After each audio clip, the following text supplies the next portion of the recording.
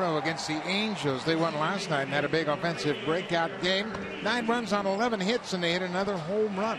John Gibbons Ball Club has homered in 12 straight road games, a total of 21 home runs during those 12 games. Take a look at the lineup for John Gibbons tonight. Top of the order, Troy Tulowitzki, and then Josh Donaldson, and Josh is back at third base. And when Josh drives in a run, as he did last night, the Blue Jays are 40 and 17. And he has been terrific coming up with big hits as he did once again last night.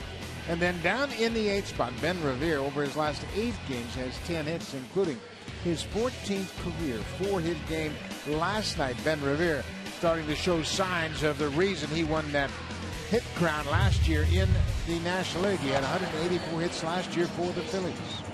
And for the Angels, it'll be 24-year-old left-hander Andrew Heaney. He's making his 11th start of the season. He was promoted from AAA Salt Lake back on June the 24th.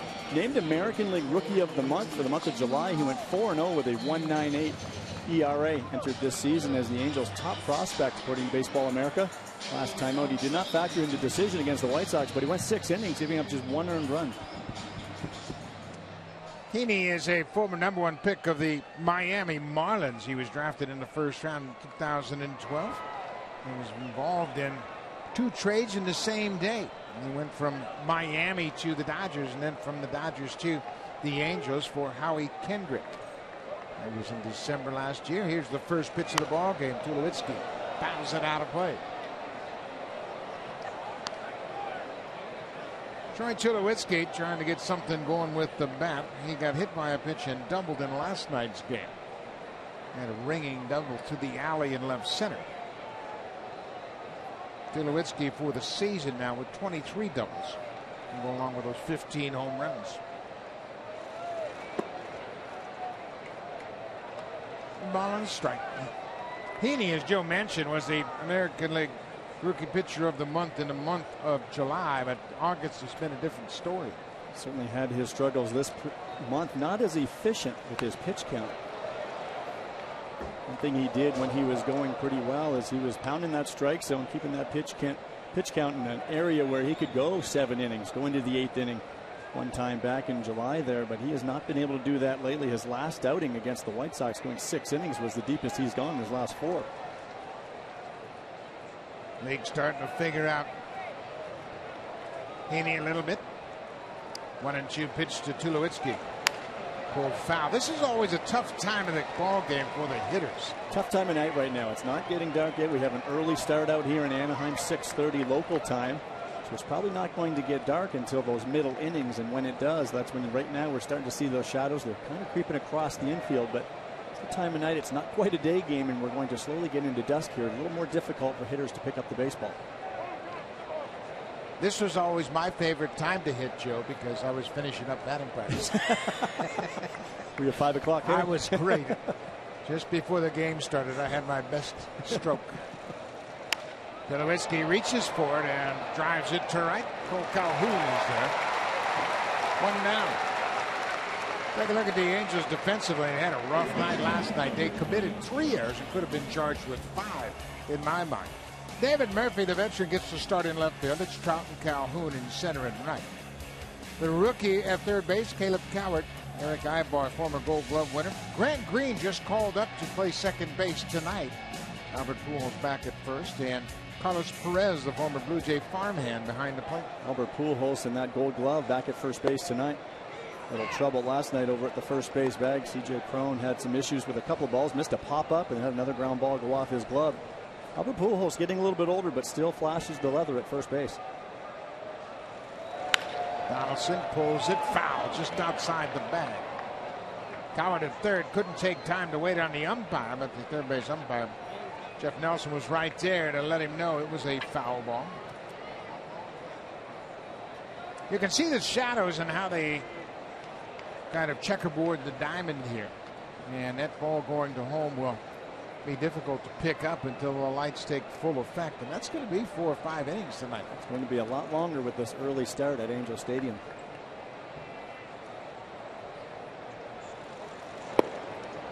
Inside.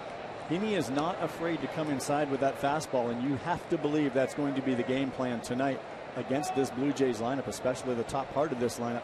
Have to keep these guys honest, being hard in. Off speed pitch. That's a fair ball. Long throw for Cowart. Right on the money. Two up, two down.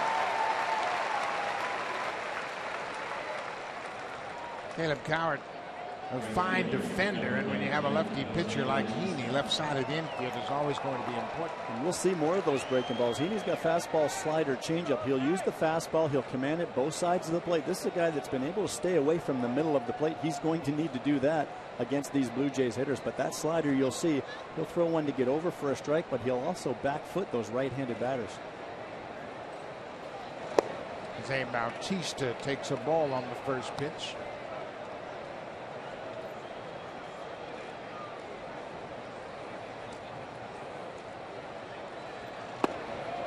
There's a strike they thought it was off the plate inside. And that's the fastball inside. I think we're going to see a lot of from Heaney this evening. Lots of Blue Jay fans here in Anaheim Stadium. Great spot for a baseball holiday, if you will. Bautista now with a one and two count. Jose 0 for 13 on this road trip so far.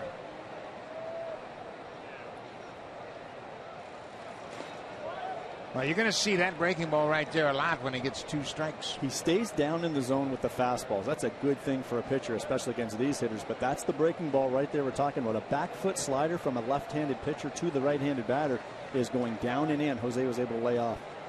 Coming in with the fastball, and they just missed the inside corner. A full count, and Encarnacion waits on deck.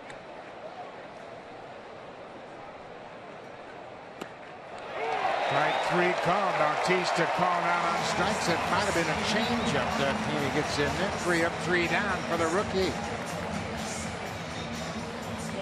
Marco Estrada will take the mound.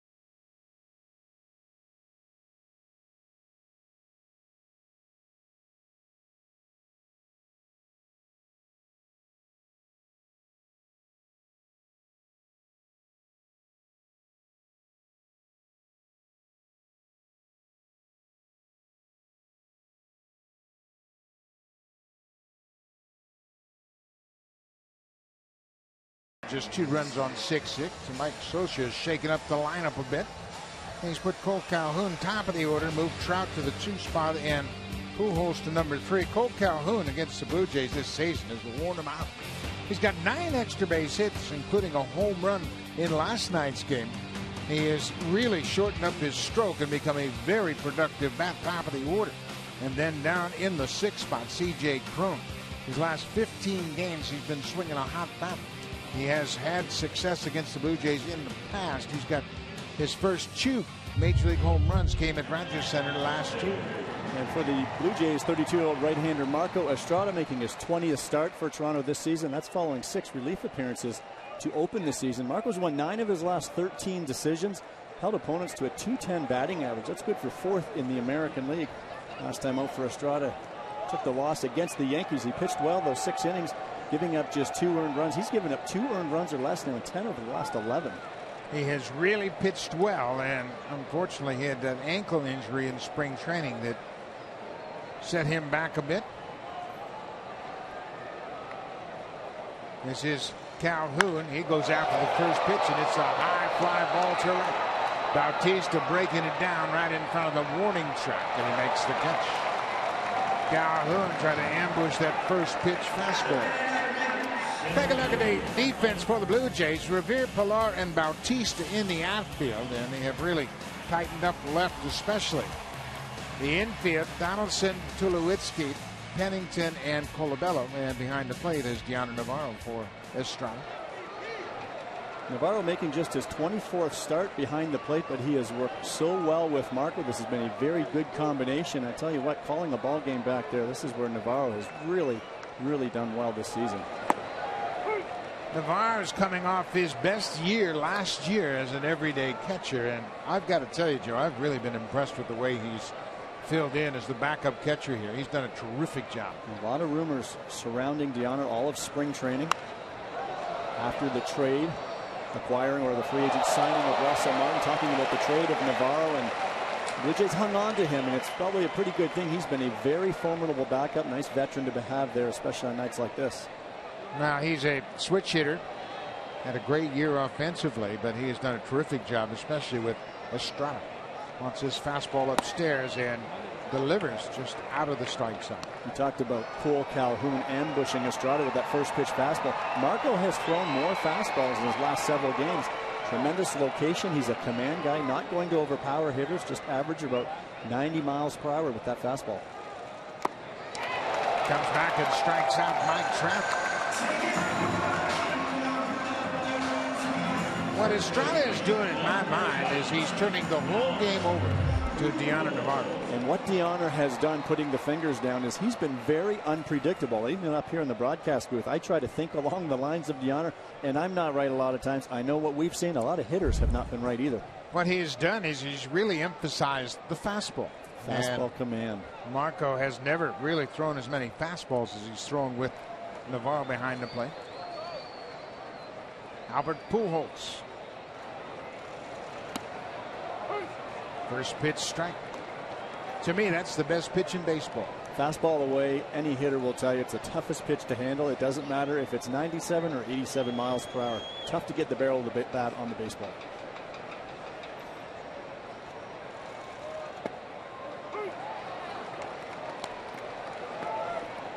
When you see Albert Pujols take a fastball right there on the other part of the plate, he, he, there's no way he's looking for that. And that's the one thing, again, Dioner continues to do. And then what he likes to do with two strikes is elevate the fastball. Marco also has that outstanding changeup down in the zone. Pujols reaches for it, and it's right to Bautista, almost in his tracks. Good inning for Estrada. Three up, three down with the strikeout. No problem.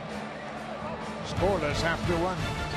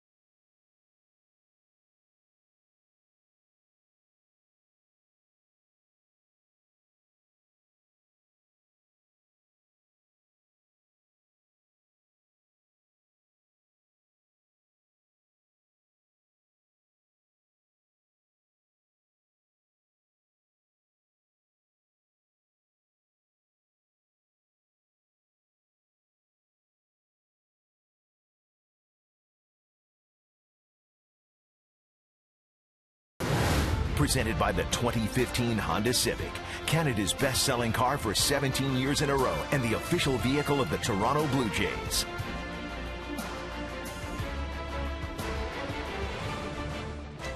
Nothing like the west coast of California when you come out here. It's a great trip for all the ball players. A lot of players have family and friends in Southern California, so it's always a great time for a reunion. Blue Jays need to do some business. It's been a long time since they've won a series against the Angels. Edwin Encarnacion extended his hit streak to 17 straight in last night's game. He has reached base in the last 22 straight ball games he's played in.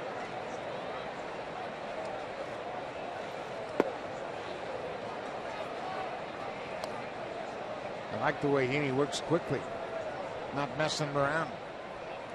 Carlos Perez behind the plate gets in the baseball right back quickly. There's the changeup away from Heaney now. That's followed by the fastball inside. And this is a young man that knows how to pitch. 24 year old, but he's looking like a veteran on the mound the way he's working that ball in and out, changing speeds already. There's a drive to left field. David Murphy on the run. It's beyond his reach and up against the wall.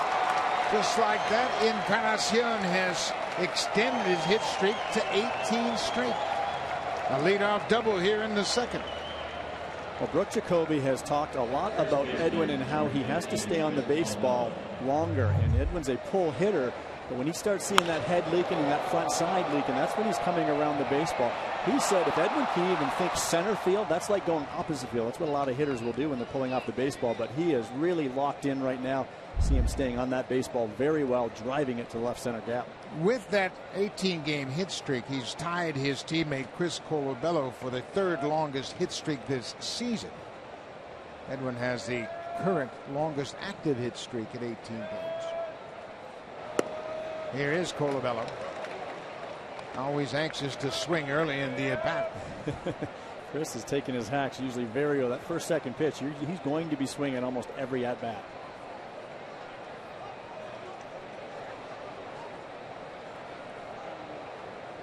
Chris will tell you, though, that's what he does at the plate. He's looking for a fastball down the middle, and he'll work away from there.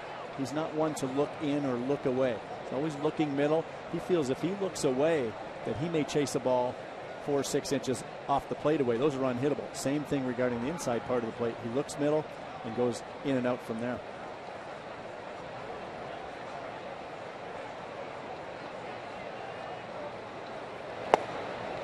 Right now, he's got to think about driving the run in, but you got to think about driving the run in on the right side of the field. Exactly. He's going to try to drive something to the right side.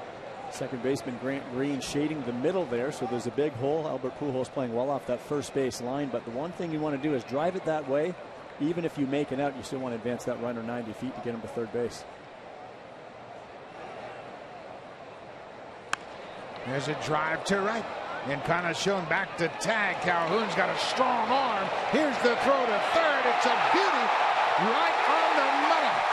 Calhoun, his eighth outfield assist of the season. And he was deep, Joe. That ball is hit pretty well by Colabello. That's exactly what you're looking to do as a right-handed hitter there. Hit that ball hard to the right side. This looked pretty deep. Edwin, of course, doesn't run real well, but it took a perfect throw from Cole. Look at him get set up, catches the baseball, but he gets rid of it quickly. That, but that ball is on a line, one hop, right on the money. You could not have flipped that there any better. Man, I tell you what, you don't see throws like that very often. A perfect one-hop strike.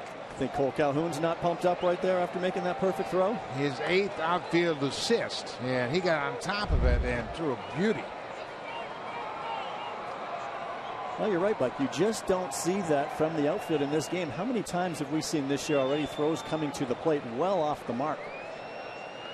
That gave the third baseman Cowart a terrific one hop bounce. Dioner Navarro now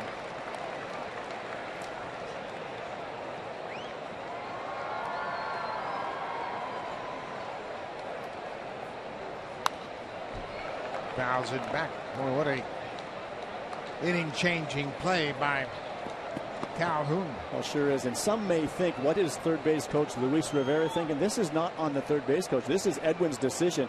In my opinion, it's the right decision. Oh, took absolutely. a perfect throw to get him at third base. Now, you get a ball driven that deep to right field, and it's a line drive. You tag up, and He just made a good play. If that throw is offline a foot or two, either way, Edwin's hand gets in there. That's just aggressive base running. You'll take those any day.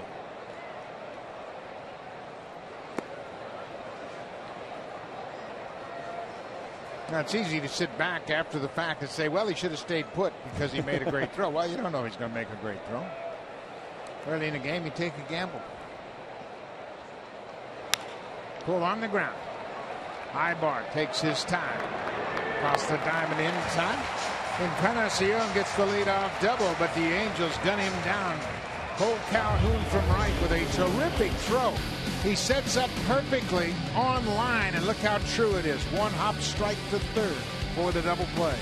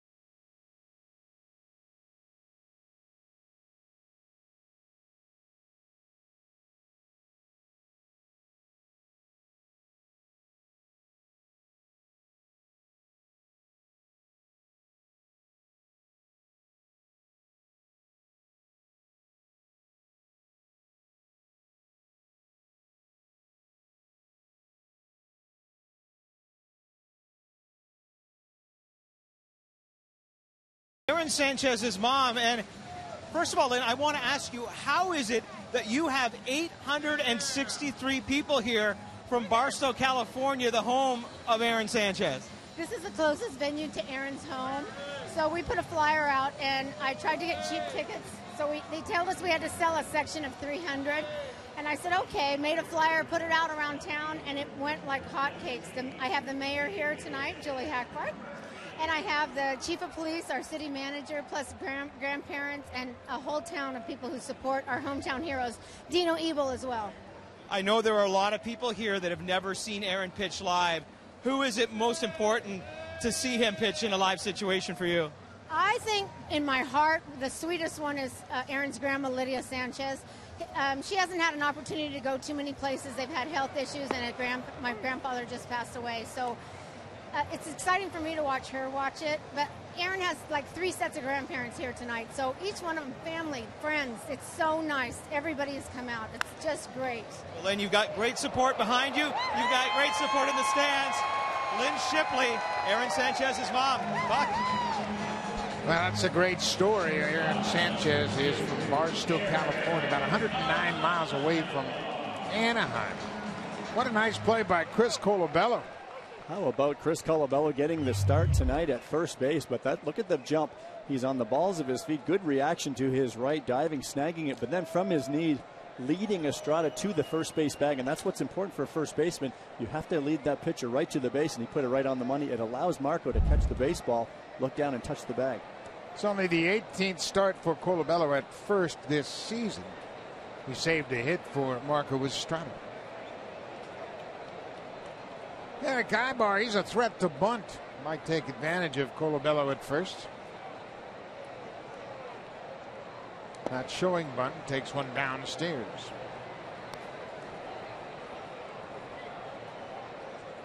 Aybar dropped down into the lineup, and he has always hit top of the order for the Angels.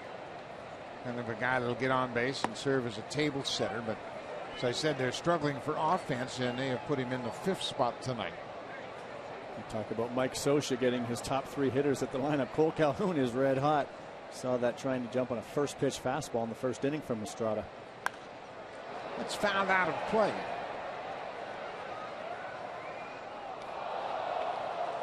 Mike Scioscia very frustrated with the effort last night.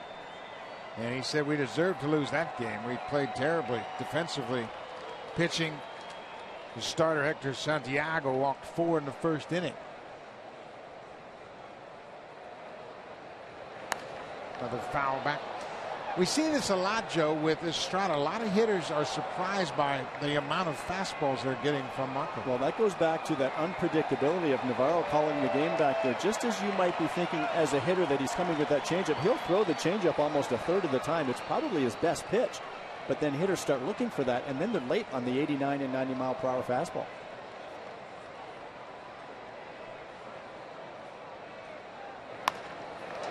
He fights that one off and flares it into left field. Aybar's aboard with a one out single.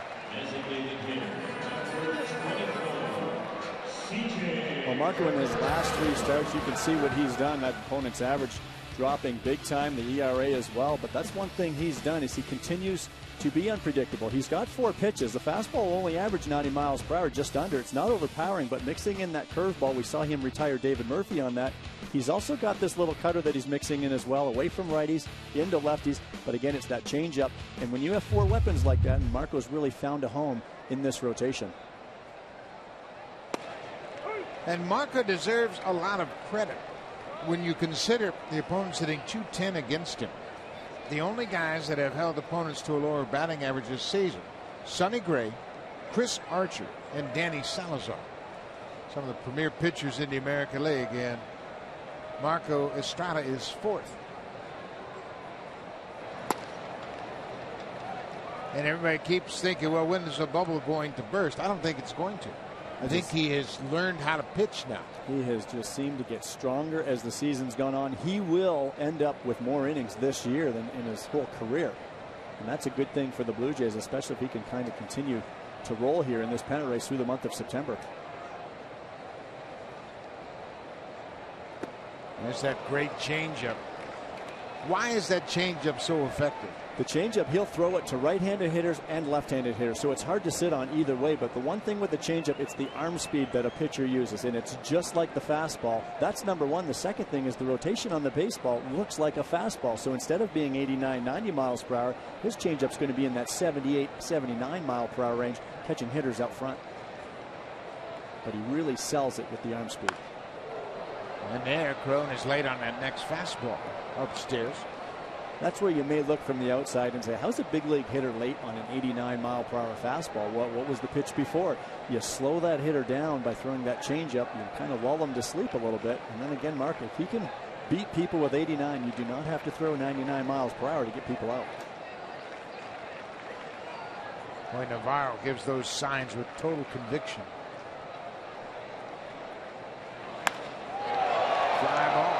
Routine play. Aybar's going back to tag at first. Pillar has to get it in quickly, and he does.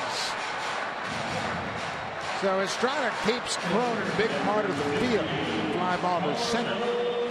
He should set up very well in this ballpark, given the fact he is a fly ball pitcher. He's a fly ball pitcher. You know, you ask Marco why that is, and he really can't even figure it out. He says, listen, I'd love to get more ground balls, but he's getting almost 50% fly balls throughout his career. And he'll even say with the off-speed pitches, a lot of times you get hitters out front and they roll over ground balls. He said that's not the case with me. When they roll balls over on me, they get out front, they pop them up. He wishes he could be better that way. It's just not the way he's made as a pitcher, but he'll take it. Tremendous success, and again, use the big part of the ballpark out here in Anaheim. This is the catcher, Carlos Perez. He takes a first pitch strike. Perez had a big hit Wednesday night he had a home run in a one nothing game in support of Jered Weaver. Run of that ball game. And swinging a hot bat lately. He's done the bulk of the catching as Chris Iannetta, although Iannetta caught the last two games. Iannetta really struggling with the bat. It's a tough balance for Mike Scioscia. Of course, he wants defense back there, but this lineup has just struggled, and he's got to find any way he can. We see the way the lineup's constructed tonight. Calhoun, Trout, and Pujols at the top. He's trying to create anything he can. When Perez hit that home run on Wednesday night, he was the first rookie catcher to homer in a 1 0 game since Buster Posey did it for the Giants in 2010.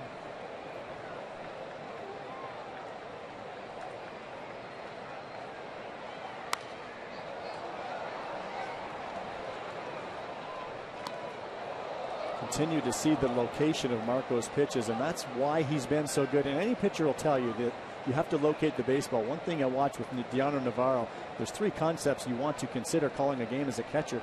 You want to move the ball in and out, back and forth by changing speeds, and then up and down, changing the plane. And Marco has incorporated all three.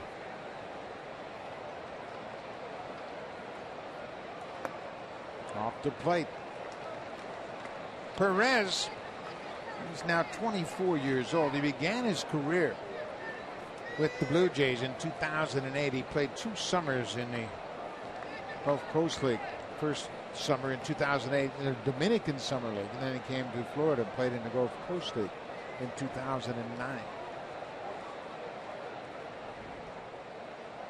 And there goes Aybar. Navarro has been throwing very well, and he throws another strike. Boy, Dioner Navarro has done a terrific job of keeping his throwing skills intact despite many starts. He hasn't had many. This is his 24th start of the season, and he gunned down a good base runner in Erick Aybar. Quick release, throws it right on the money to Pennington to end the inning.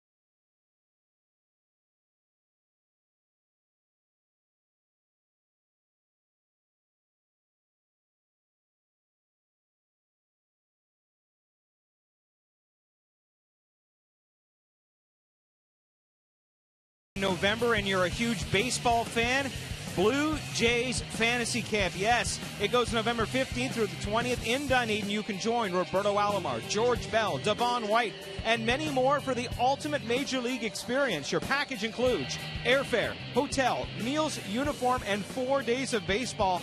Yesterday we told you there's only five spots left. Buck, there's only four spots left now. It is going fast. Go to bluejays.com slash fantasy camp for more. I'm hoping one of those four spots is saved for me. They need a left-handed short reliever. That's me. I'm a lefty. and I'm short. you fill the bill. We move to the third. It's a scoreless ball game. Each club with one hit. Blue Jays have a double by Encarnacion, and Aybar had a single. That's it. Andrew Heaney, we mentioned he was a number one pick of the Marlins in 2012 who's part of a big trade from Miami to the Dodgers. That's a bouncing ball up the middle. Aybar turns and he's not going to have enough time to throw out Pillar. Kevin Pillar with a leadoff single here in the third. He simply runs too well for Aybar to be able to throw him out. He's just a great effort by Aybar at shortstop, ranging up the middle to his left. His only chance was the big off balance throw, but of course, the speed of Pillar beats it out. And that's Kevin right out of the batter's box. You think you've got a knock up the middle, all of a sudden he gloves it. you got to kick it in another gear, but Kevin's always running hard down that first base line. Kevin gives you that effort every single time out of the box. So now Ben Revere, what a night he had last night. Revere had four hits in the game. He was four for five.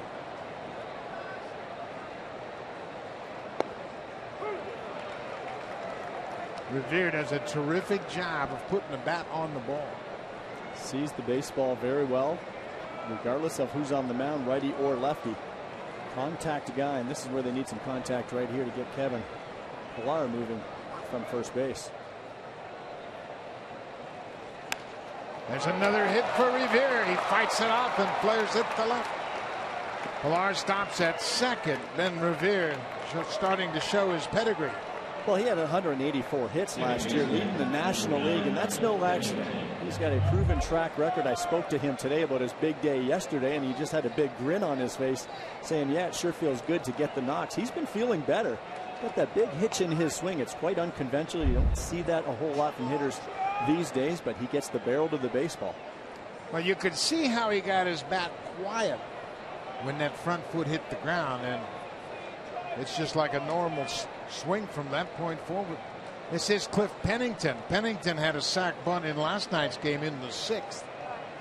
The Angels looking for the bunt. Pujols on the grass at first. Pennington squares and bunts it a good one. Heaney looks at third, throws in the dirt. Nice scoop by Grant Green. Pennington does his job. He's going to get a big attaboy when he gets back to the Blue Jays dugout. Cliff Pennington did the same thing last night the sixth inning, getting that sacrifice bunt down. And you're right on. A lot of high fives in that Blue Jays dugout right now. That's an outstanding job by Pennington deadening that baseball. By the time Heaney got to that, he did not have a chance to go to third base. Really deadening that ball. If you bunt it too hard to the pitcher, Heaney's got a shot at third to get that lead runner. It's a nice job moving the runners up. So now Tulowitzki will bat. The Angels will play the infield back. Runners at second and third, one out.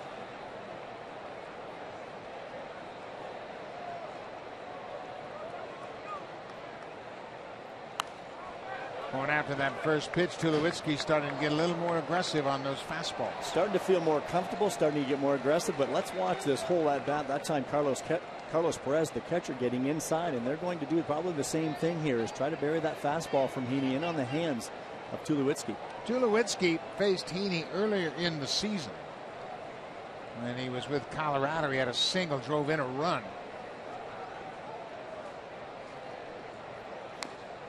Gets a piece of it, stays alive. Pretty good pitch from Heaney. That's the slider from Heaney going down and in. And this is where Troy just has to keep the baseball in the middle of the field. Even a weak ground ball past the pitcher scores a run right here. This is situational hitting 101 right here. This is what Rick Jacoby talks about all the time. Finding a way to cash in that runner from third.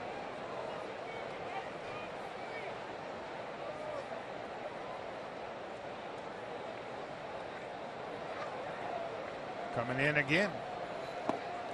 Off the plate inside. It's very impressive to see that from a young pitcher, the 24 year old. He is clearly showing he has no fear about throwing the fastball inside to the Blue Jays hitters. It gets them conscious of that fastball, and now they almost have to think in there, and now he can own the outer part of the plate. We'll see if he goes back away now. And he made his debut last year while pitching for Miami on June 19th. Tulowitzki gets a piece of that off-speed pitch.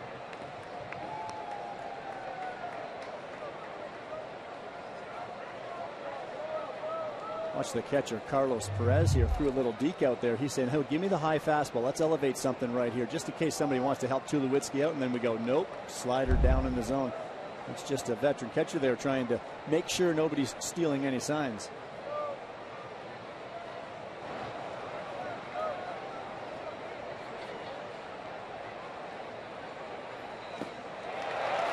Tulowitzki strikes out. Nasty breaking pitch down and in. Second strikeout for Andrew Heaney. That's the back foot slider we were talking about back in the first inning from Andrew Heaney, and this is the one he'll bury because he's going for the strikeout. You want to bury this one in the dirt.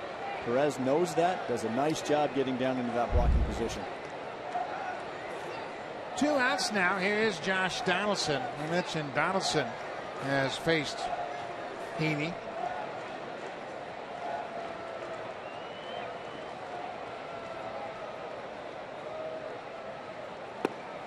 Donaldson had an RBI base hit against Heaney last year when Andrew was pitching for the Marlins.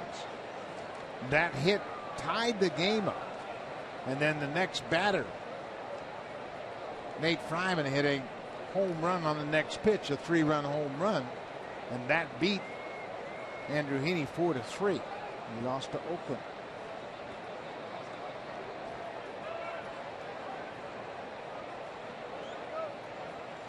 High, deep drive. Donaldson has done it again. Three run home run, Josh Donaldson. Number 34.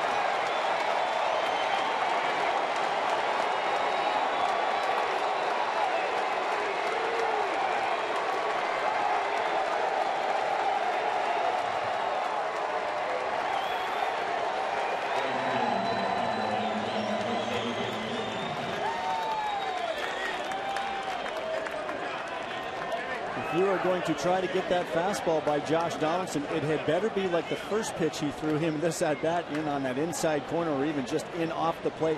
You cannot leave it on the white of the plate.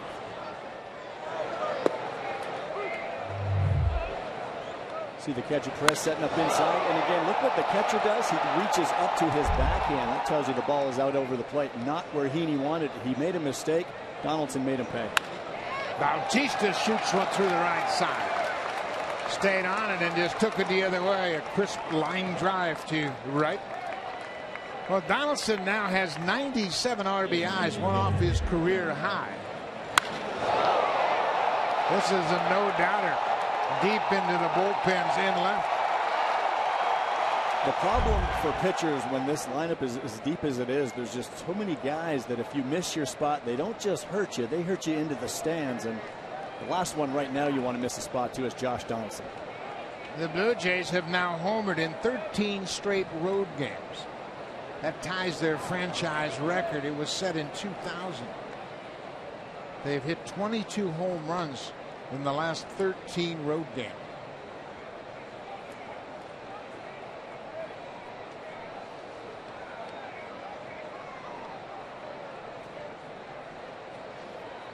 If you were going to take an offense into the classroom and construct an inning, you'd say, okay, number seven hitter, you get an infield hit. Number eight, you flare one to left. Number nine, you drop down a sacrifice bunt. And Troy Tulowitzki strikes out, no problem. Donaldson will pick you up. I mean, this works for everybody. Some kind of player. Well, and it takes Tulowitzki off the hook, too. Well, absolutely. And, you know, Troy really has not gotten it going offensively, and you know he's going to. Those numbers are there for his career as well. So he's going to get hot. Talked about Ben Revere earlier today and his successful day yesterday. He says, you know, I haven't really been swinging the bat. Troy hasn't since we got here. New teams, we're making the adjustments. We're going to kick in here. Tell you what, the Donaldson home run alleviates the sting of that Tulowitzki strikeout. And now he can just put it behind him. Josh is taking him off the hook. The Blue Jays have a 3 0 lead. And oh well. Look ahead to the next at bat. How's that for picking up your teammate? Two and one. Outside corner. Encarnacion had a good look at him, thought it was outside.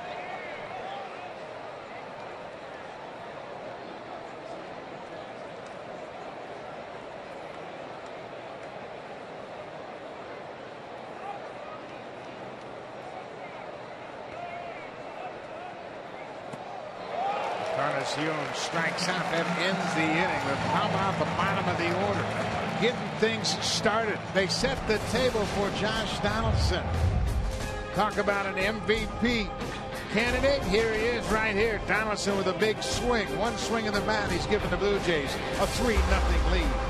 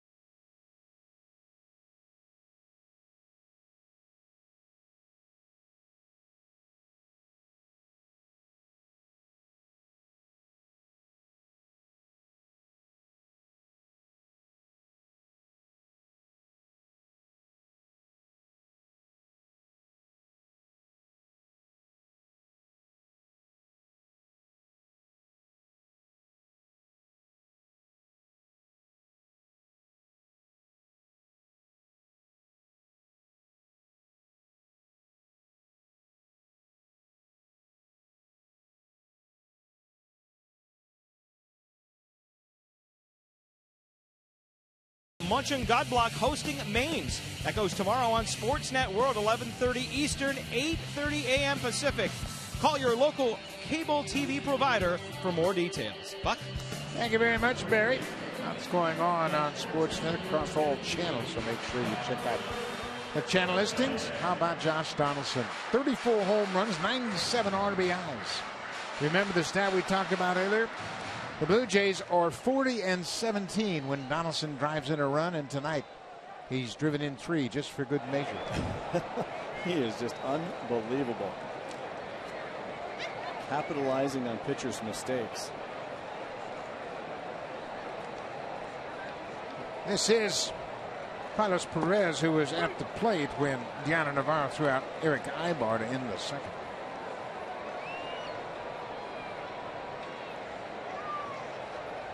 Perez is from Valencia, Venezuela.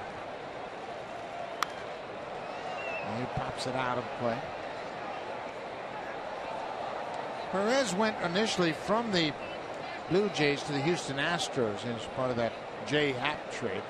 Blue Jays sent a boatload of prospects down to Houston for Jay Happ and Brandon Lyons. 0-2.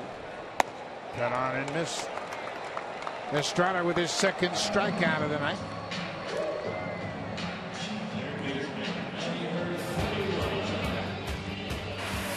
Save during Canada's Color Expert Sale. Only at Home Hardware and Building Center locations. Homeowners helping homeowners with expert advice.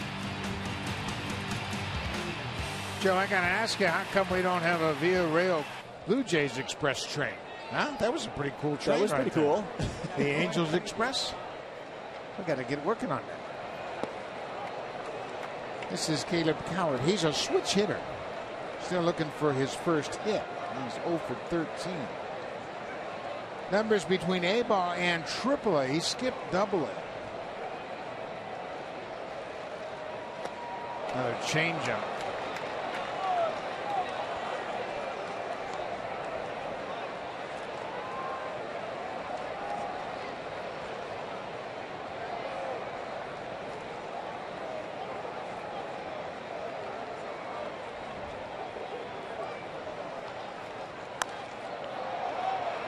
High pop up.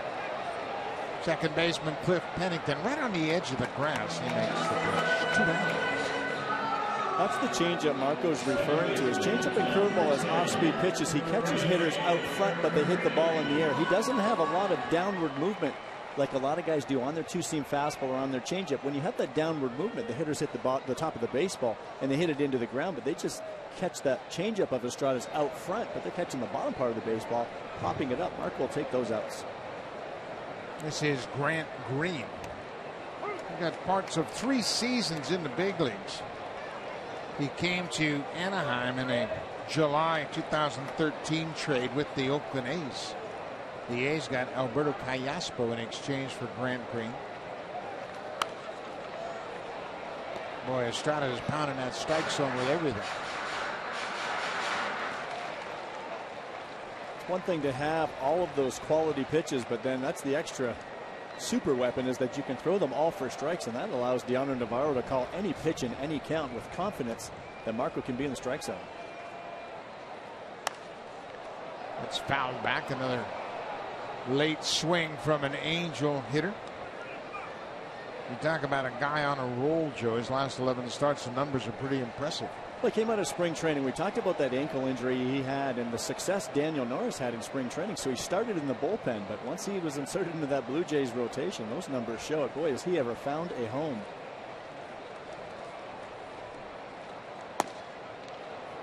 Didn't make his first start until May 5th. Lasted just four and two thirds against the Yankees at home.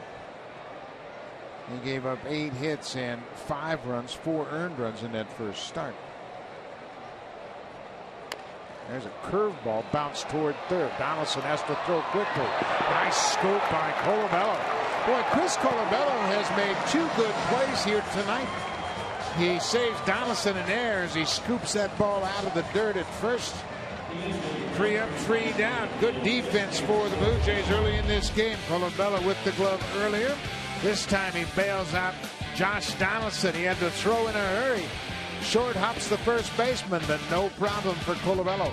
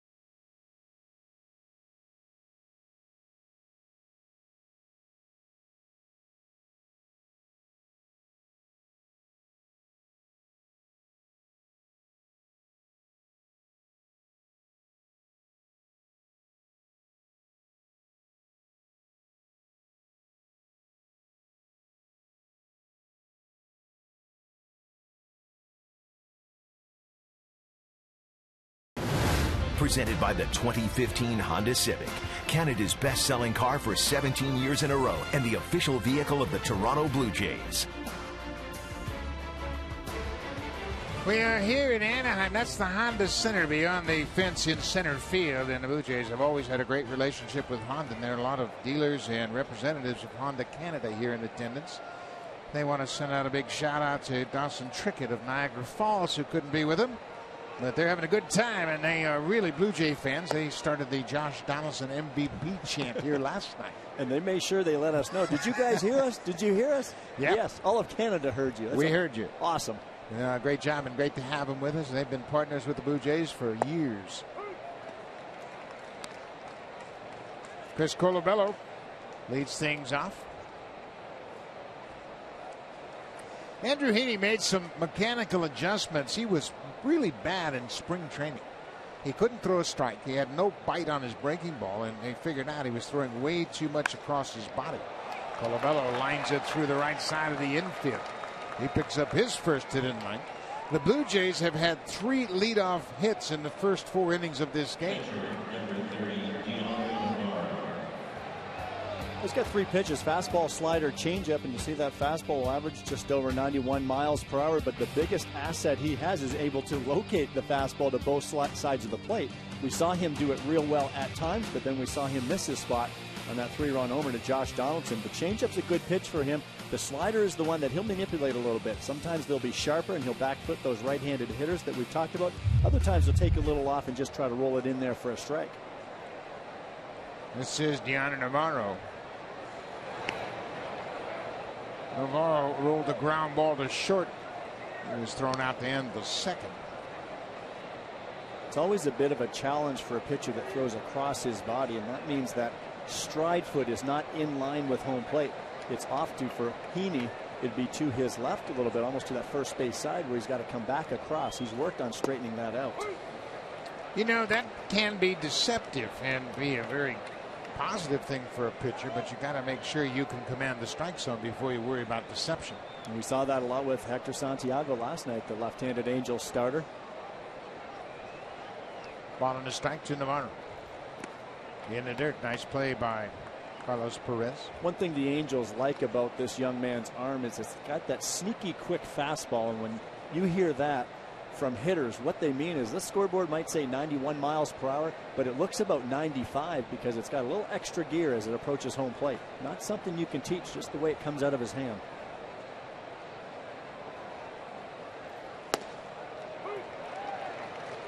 Laz Diaz called that strike on Navarro, and you could see from Navarro's reaction, he didn't think it was a strike. John saying, Laz, come on, I'm working in front of you tonight.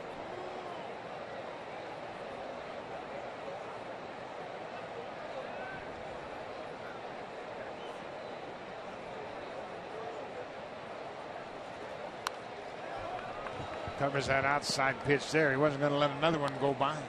And that's where you see a hitter cover that outside pitch, and it was an off-speed pitch. It looked like the changeup that time from Heaney. Now, as a catcher, I'm coming inside with that fastball right here because the hitter was able to cover out over the plate. Now try to bust that fastball in. We'll see what Perez does.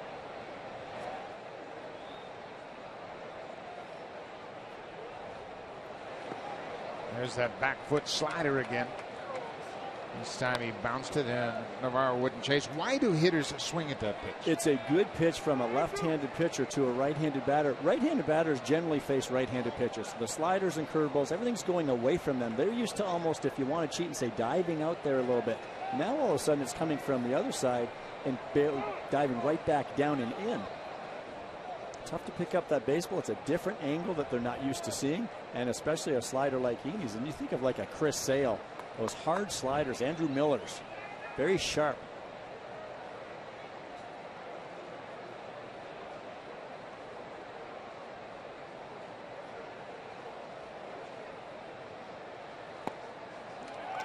Took a shot inside and missed. First two reach here in the fourth. That's the first walk issued by Heaney, and he's going to get an opportunity now. Once again, the Blue Jays can do some things with Pillar the plate. Kevin had a leadoff single and scored in the third. He scored the first run of the ball game.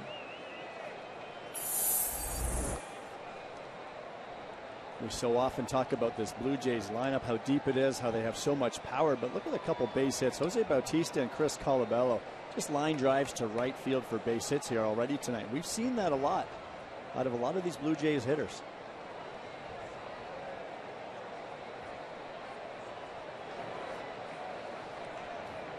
Pillar had an infield single just over the mound, and Erick Aybar, the shortstop, made a play on it, but he did a 360, and by the time the throw got the first, Pillar was safe.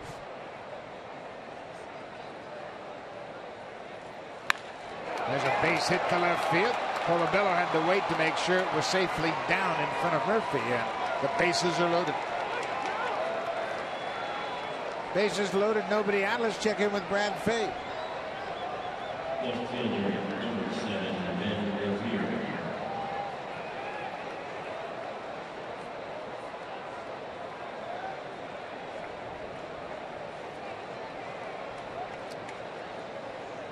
Byron Buxton just recalled from the minor leagues. That's his first RBI of the season, and he's been a terrific prospect for a number of years for Minnesota. Just hasn't been able to stay healthy. Aaron Hicks went on DL, and they called up Buxton.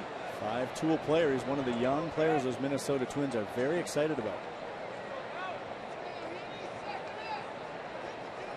Minnesota moves a game over 562 and 61. Baltimore Orioles 62 and 60. Here is Ben Revere. He had a single to left his first time. Bases loaded, nobody out. Interesting defense they are in. Nobody out. And they have to cut off a run at the plate. Just shows you how difficult runs have been for the Angels to come back. Well, Mike Scioscia is telling everybody right now that we have had trouble scoring runs. We cannot afford to give up anymore. Got to try to cut down this runner at the plate.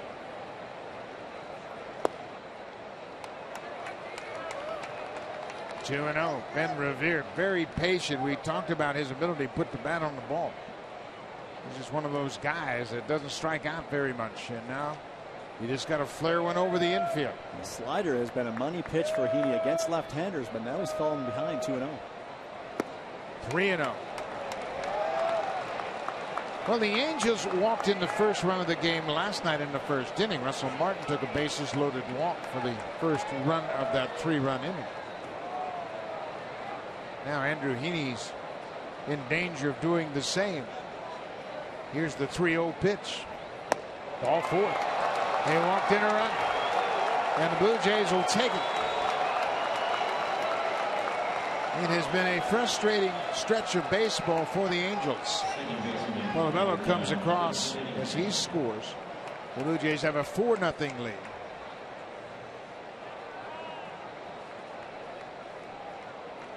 Heaney has been a very steady starter for Mike Scioscia and the Angels, but you run into a Blue Jays lineup, you're really going to find out what this kid's made of. And finding out early on the struggles.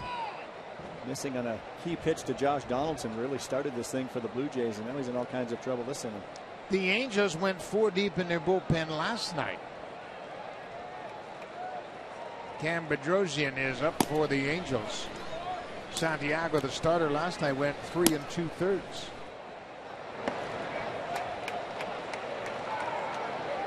Cliff Pennington, the number nine hitter, and a terrific sacrifice bunt in the third inning. The infield remains on the edge of the grass.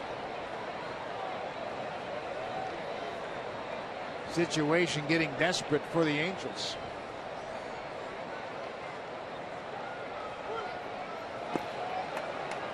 Two and zero, and now Heaney can't throw a strike.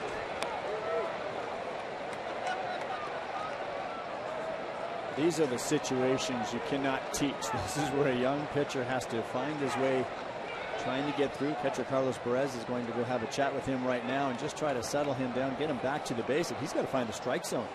The only chance he's got is to find the strike zone against Cliff Pennington. Hope he can get a ground ball hit right at somebody or a pop up in the infield. Terrible way to pitch when you're just hoping to throw strikes. Hope's not a good strategy, as they say. Two balls and no strikes, still nobody out. A run in, and the bases are loaded. Taking all the way.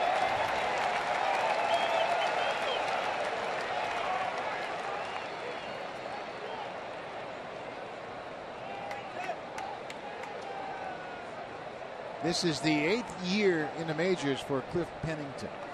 Began his career with Oakland, spent parts of five seasons with the A's. Had a good cut, fouled it back. Pennington was an original first round pick of Oakland in 2005. He's never had a grand slam. Right now, he'd take a line single to the outfield.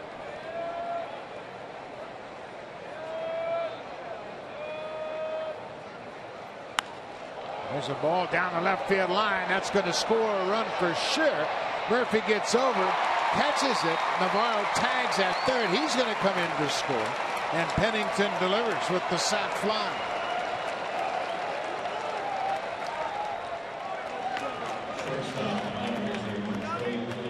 The Blue Jays have had the last three leadoff men reach. Two of them have come in to score, and now it's a 5 0 Blue Jays lead. Well, you just talked about the veteran Cliff Pennington, and this is a veteran at bat right here. He's got a young kid on the ropes, and he got him to a 2 and 2 count. He knows the kid has to throw strikes. He's able to get the barrel to the baseball and hit deep enough down that left field line. David Murphy had a long ways to go, but deep enough to score Dioner Navarro. Good at bat. Troy Tulowitzki has flied out and struck out. Bounced in the dirt.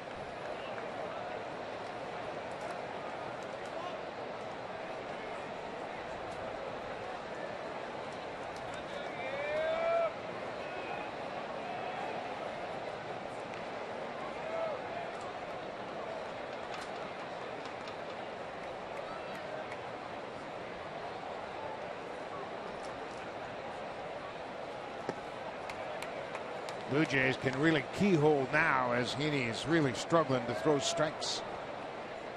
And this is when you get veteran hitters against a young pitcher. They're doing exactly what you just said. And that's why it's so much an advantage to the hitters here. It's one thing to be a young pitcher trying to face this lineup, but now you're trying to face them on the ropes, clearly struggling to find the strike zone. And now you've got to come into some pretty good hitters.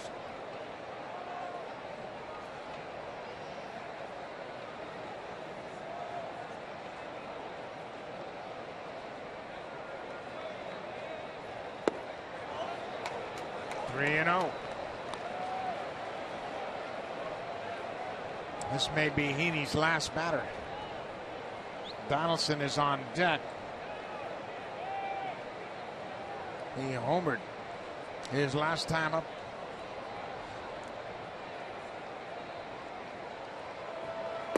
There's a strike. It's now three and one. Still only one out. Cam Bedrosian is loose in the Angels bullpen. You know, if the situation is different, you maybe give Tulowitzki a green light right there. Maybe it's a time to maybe break out of this little bit of funk that he's in, but you can't do it with a guy by the number name of Josh Donaldson in the on deck circle. Another walk. That's going to be it for Heaney. Here comes Scioscia. Three walks in the inning, including a bases loaded walk. And Andrew Heaney's struggle continues. So Scioscia will go to the bullpen early. Second consecutive game, they've had to go to the bullpen early. Cam Bedrosian, the young right-hander, will come out of the pen, bases loaded, and he's got to deal with Josh Donaldson.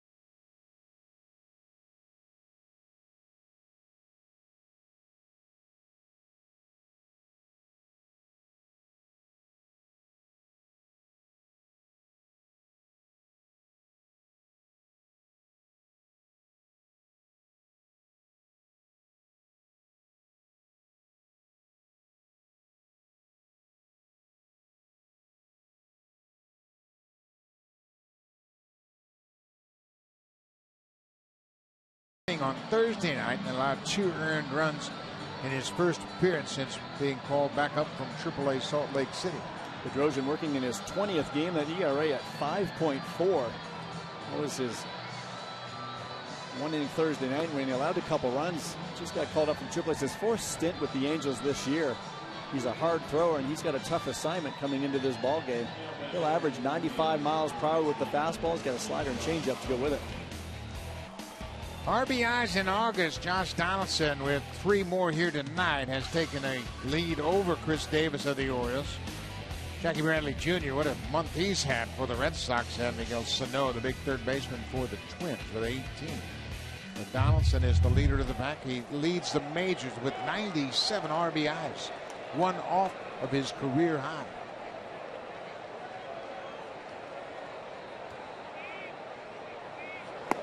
Outside. This has got to be a challenge for Bedrosian coming into this game. Donaldson at the plate, bases loaded, just one out, and he's already homered.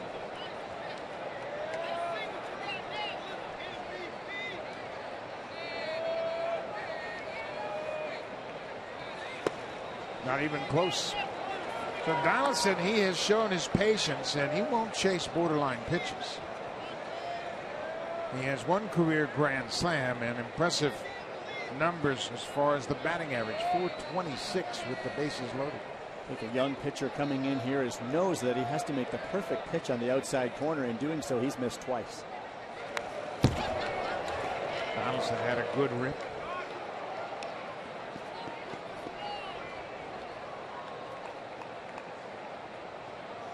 Donaldson had a pair of home runs on Tuesday night in Philadelphia.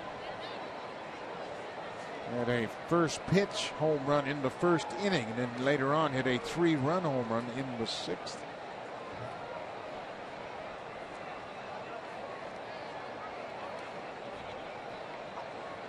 Two and one. Cloud straight back over our heads.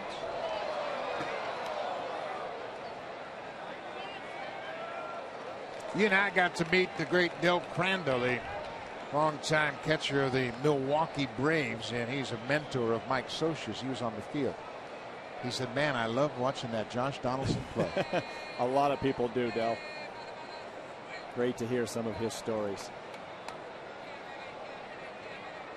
Two and two, one out. Got a piece of it, and Perez couldn't catch the foul tip.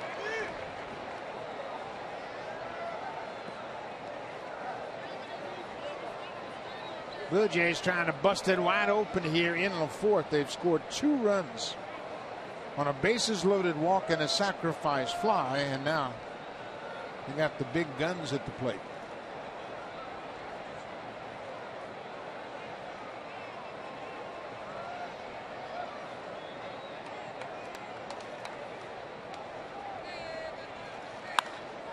He hung him a breaking ball, and Donaldson pulls it into the seats.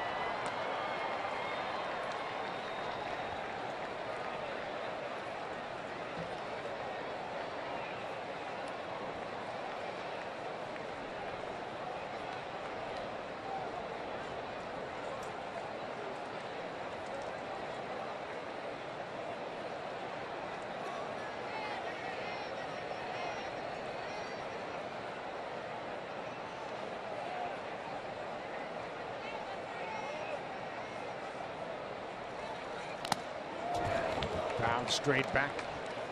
Boy, he's on him pretty good right now. He's on him. I'm surprised that Bedrosian went back to the fastball. He tried to sneak that fastball by him after he bounced the slider, almost got Josh. But this is why he's so good. Josh keeps that bat in the hitting zone. He gets the bat on plane so early and then keeps it through the hitting zone a long time. So even when a fastball beats him, he can foul it off. If he's out front of that slider, he can still get a piece of it. Very difficult hitter to face, those guys that keep the bat in the hitting zone a long time. So Bedrosian, this would be his eighth pitch to Donaldson. Way outside.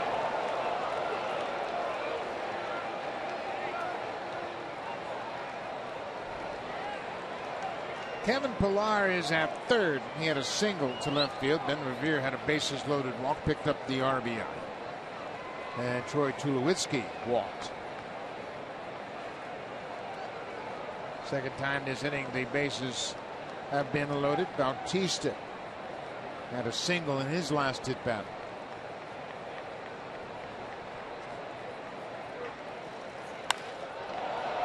Donaldson just waits back and fights that pitch off. And that's what you can see him doing, letting that ball travel. He's guarding against the slider. He does not want to chase the slider down in the dirt for strike three, so he's making sure he allows that ball to travel. But it must be nice to have the ability to allow a 94, 96 mile per hour fastball travel. But again, that's why he is so special.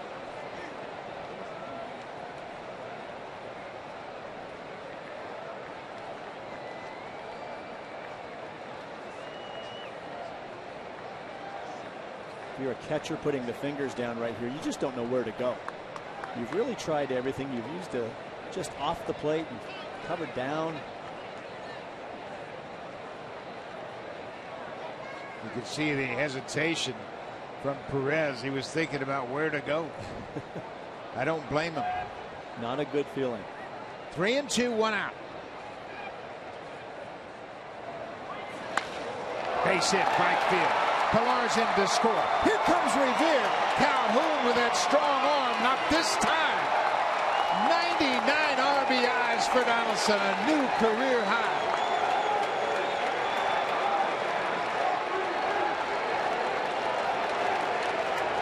What an at bat.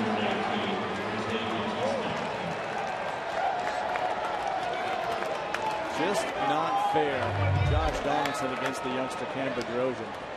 He went right back to the fastball. Talk about how he lets that ball travel, lets it get deep. How about this? He lets that fastball traveling deep. He just drives it into right field for a lousy single and a couple of RBIs. This is how you drive in runs. He's done it so many ways. Everybody's looking for Josh Donaldson to put another one in the seats. No, he's just going to go the other way for a couple ribbies. That ball gets away from Perez, and the runners are going to move up. Boy, the wheels have fallen off for the Angels here in the fourth. The Blue Jays have chased the starter for a second consecutive night. They're into the bullpen in the fourth. And Scioscia's visibly upset. That ball gets away from Perez and eliminates the double play opportunity. Well, it just can't happen either. That ball's breaking ball. When you call that, you have to anticipate the ball being in the dirt. And he's just late getting to his spot. When he gets there, the glove comes up. That glove's got to be buried into the ground to cover that five hole. That's the seventh pass ball charged to Perez. Bautista drives it high and deep to right. Get up, ball. That is off the wall. Tulowitzki's going to score. Here comes Donaldson right behind him. Bautista's headed for third. Here's the throw, not in time. A two-run triple for Jose Bautista. His third triple. Another monster inning for the Blue Jays. About these Toronto Blue Jays hitters going the other way, and this is why they're so difficult to pitch to. You think of this top of the lineup, you think of Donaldson, Bautista, and Encarnacion, and the ability for them to hit the ball out of the park. No, I'm just going to take this fastball out over the plate and drive it the other way. These pitchers are just at a loss as to how to pitch to these hitters. The infield now has to come in. It's nine to nothing. The Blue Jays had been struggling to score runs. Not anymore.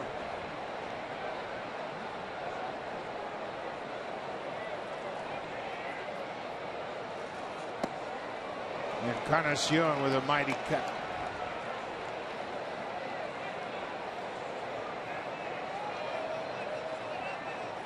John Gibbons has seen this act before. Six runs here in the fourth inning. There's a liner to center field. Bautista's tagging. Here's the throw from Trout. It is late and offline. Bautista scores the 10th Blue Jay run. Encarnacion with the sac fly to center.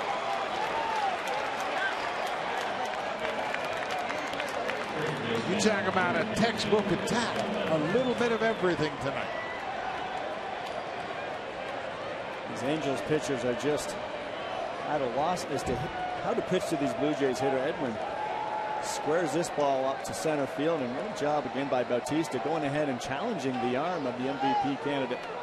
That's what you do for your teammates. Absolutely. That's a big plate appearance for Edwin. Another RBI.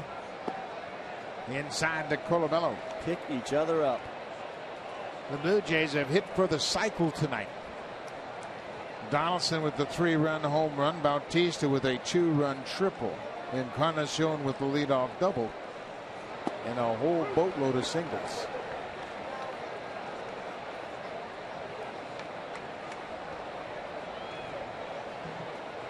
The Blue Jays have not won a series against the Angels for the last eight series. They put themselves in a position to snap that streak. Colabello started the inning off with a single to right. He's the 10th Blue Jay to bat in this inning.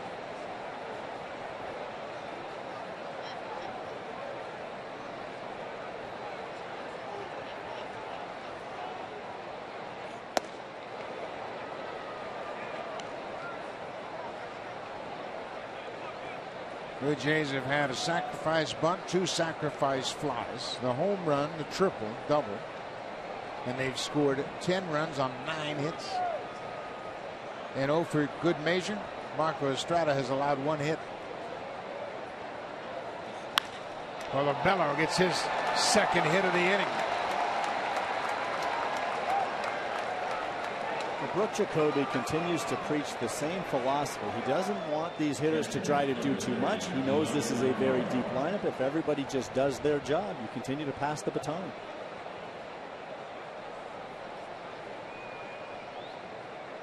Crooked numbers, the most games with nine or more runs in the American League.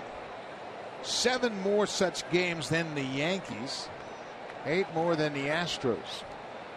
They've also had a seven run inning. It's the 22nd time this season they've had a five run inning or more.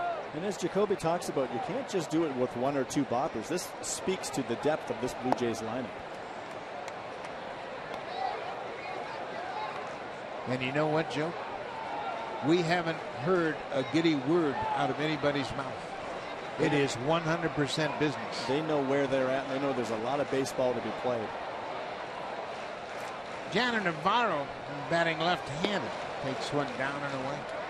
You get that feeling when you get that star power in this Blue Jays clubhouse right now. You get a lot of veterans, many now who have been to the postseason. This is a different crew than the Blue Jays have outfitted in recent years. There's a liner to left. That'll get down for a base hit. Navarro has joined the hit parade.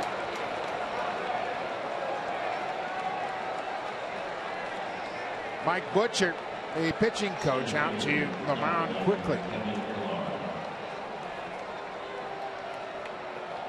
Just a nice piece of hitting here by Dioner Navarro. This pitch out over the plate. And again, we always use that term, not trying to do too much. Well, that, what that means is allowing the ball to get deeper in your stance and taking that base hit the other way. And that's just a great swing path by Dioner. There's a lot of hitters when you get ahead in the count like that where they get a little pole happy and they want to drive something into the right center gap. Not Navarro, and that's exactly what we mean by passing the baton. Do what you can do, shoot a base hit the other way, let the next guy come up and do his job now. Kevin Pillar will be the 12th Jay to bat this inning. He had a single earlier in the inning. He is two for two on the night.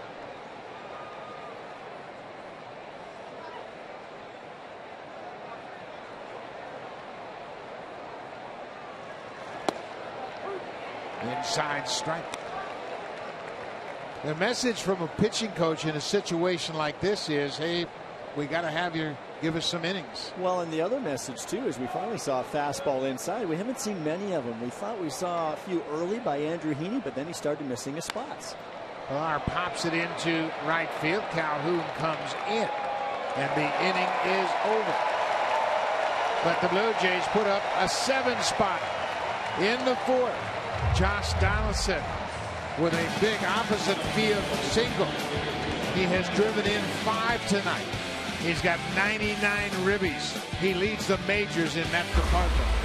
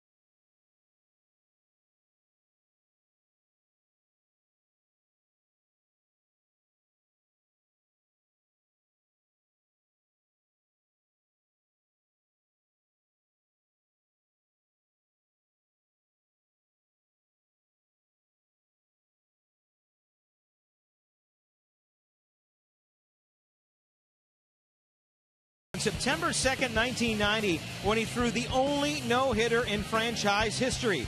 Tune in Sunday, August 30th at 12 noon Eastern Time for Dave Stieb Almost Perfect. A special looks back at the game's significant moments as shared by some of the participants, including Dave Stieb himself. A memory, Buck, that will be lasting in our minds for many, many years. That was a terrific season for Dave. Not only did he pitch the only no hitter in franchise history, but he had his finest season. He went 18 and 6, the most wins he ever accumulated in a single season. It'll be an interesting watch. Josh Donaldson's been an interesting watch all season long. He has driven in five tonight. And we're in the fourth inning.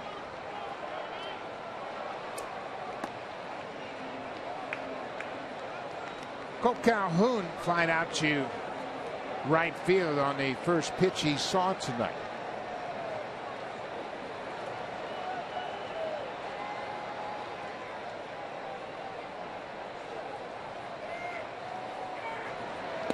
It seemed like that seven run inning was a long inning, but it only took 17 minutes.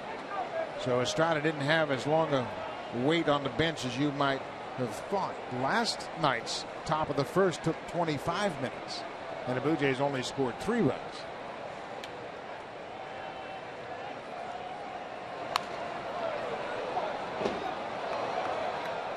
Erick Aybar has the only hit for the Angels, and he was thrown out by Dioner Navarro trying to steal in the second.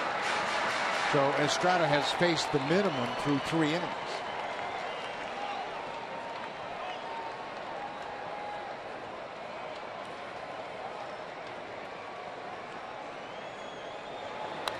Change up. Calhoun fouls it back.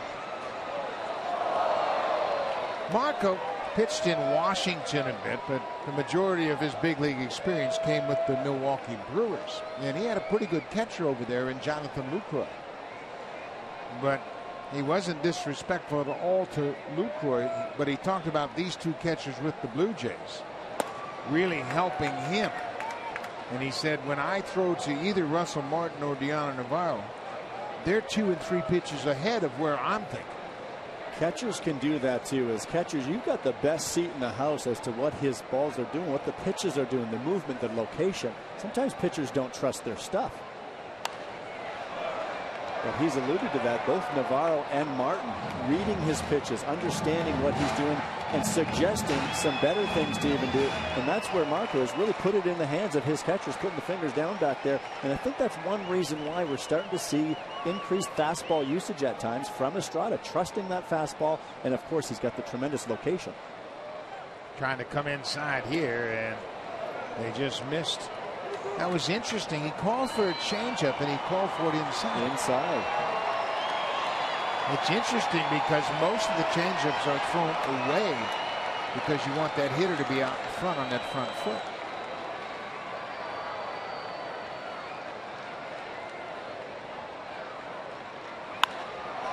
It's a high fly ball to right. Bautista jogs toward it, gets there. Calhoun's read time. You know, sometimes you throw that changeup inside. I'm trying to think on the same lines as Navarro. who gets Calhoun looking in there, and now that fastball, he's got that little toe tap. A lot of hitters will use that as a timing mechanism. And Calhoun with that little toe tap, the timing is there, but then all of a sudden, we, again, we talk about these pitches from Marco Estrada, and 89 and 90 can get on you in a hurry, and then that's that little defense mechanism by coming underneath the baseball.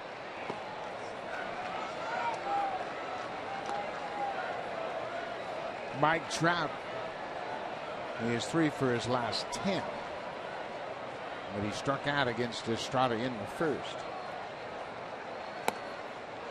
Chad went through an 0 for 13 stretch prior to these last 10 at bats. Trout last night was 0 for 3 with a walk, and he struck out twice. Both his strikeouts came at the hand of that man right there, David Price. Price had nine strikeouts in eight innings of work.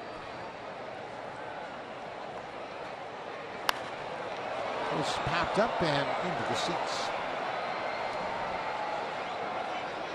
See that pitch again from Estrada. That ball's beating him. We talked last night a lot about Mike Trout and his strengths as a hitter, just like Donaldson, letting that ball get deep. But you see Trout there, 89 miles per hour, and that ball's just on him.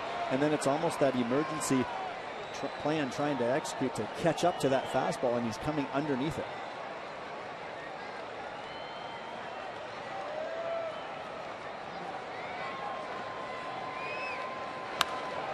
Are found in the seats. The great Hall of Famer Tom Seaver always says there are three elements to pitching movement, velocity, and location. And he always said velocity is the least important. Exactly. And I think when we watch Mark Buehrle pitch, proof in the pudding. Mark was another one, though, not overpowering. But location so important. I'll take movement second and velocity third. That changeup is cued right off the end of the bat. And it's a frustrating at bat. When you bat against Mark Buehrle, you feel like you're always going to get a hit. But he always makes sure he dictates when you make contact. Right, and he's always going to keep you off balance. He'll do the same thing. He'll run that little cutter in there. It's only 82, 83, but he'll jam right-handed batters. This is pulled down the left side, and you can see Trout, his timing is all messed up right now. He's late on the fastball. Now he's out front of the off-speed pitches, and really as a pitcher and catcher, you've got him right where you want him. Now you're just trying to put him away, but that's why hitting is all about timing. And when your timing's not there, that's what the pitcher's job is to do is upset that timing. Dioner with a little shake of the head. When you do that as a catcher, you want the pitcher to do the same. Get that hitter thinking. Laz Diaz wants Estrada to step off. Trout had asked for time. And Navarro just nods, throw me that last pitch I called. And he does. Marco's pounding the strike zone right now with all his different pitches. But Trout just unable to square anything up.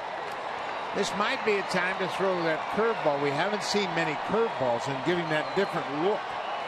It'll be a lot slower. It'll have a bigger break, of course. I'll throw that front door cutter. Boy, look at all those balls in the zone. He is filling up that strike zone. And that front door cutter, what Dioner is trying to do right there, he's trying to start that in off the plate and just have it cut back onto the inside corner. It was down, but just missed. Again, Trout on a 3-2 count late. Marco Estrada, we mentioned last night that he went to Long Beach State.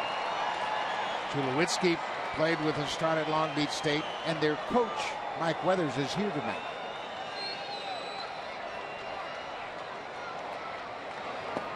Changeup.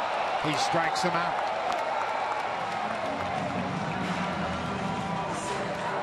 Two down now, Albert Pujols, who began his career with the St. Louis Cardinals, and what a career it was in the Midwest. Well, it certainly was, and that's when he racked up all kinds of numbers. Not as much success as an Angel, but with Albert, he's fought injuries a lot of his career, but especially as you get a little bit older, it's tough to recoup and recover from those injuries. And you see those numbers now slowly coming down. Signed a big deal here out in Anaheim.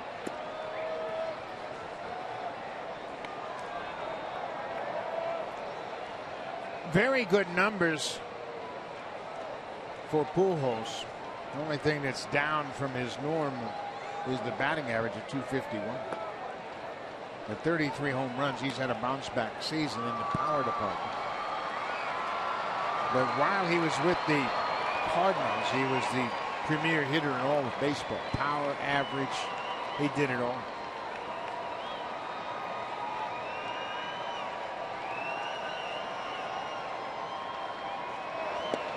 There's a strike. His first 10 years with the Cardinals, over 300, many of those years in that 330 to 360 range.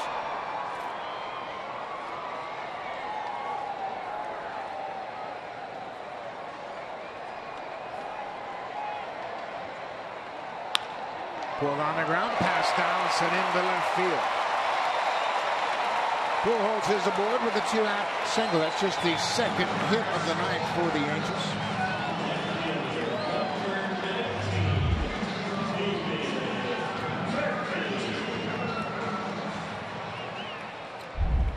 We mentioned Mike Weathers, the coach at Cal at Long Beach State, where Estrada pitched. He said, I can't be more proud of Marco Estrada for a guy that came to our program as a junior, pitched one year at Long Beach State,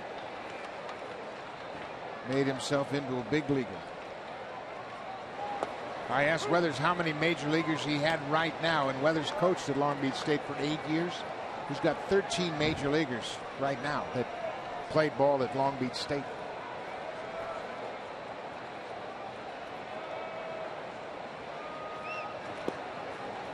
There are four of them in the ballpark tonight.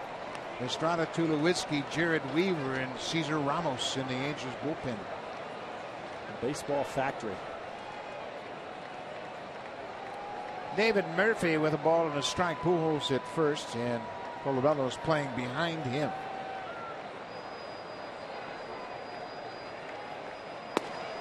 Strike two.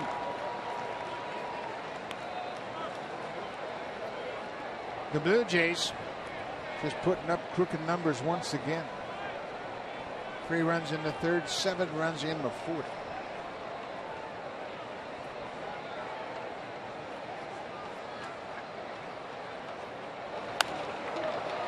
Donaldson will give it a look, but it's well back out play.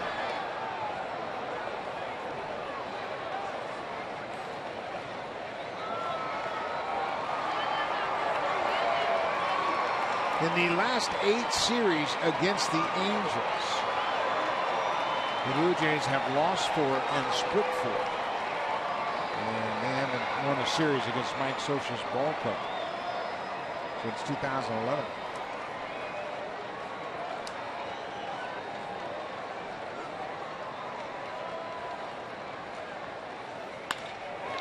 Fly ball to center. Pillar came in and it's over his head.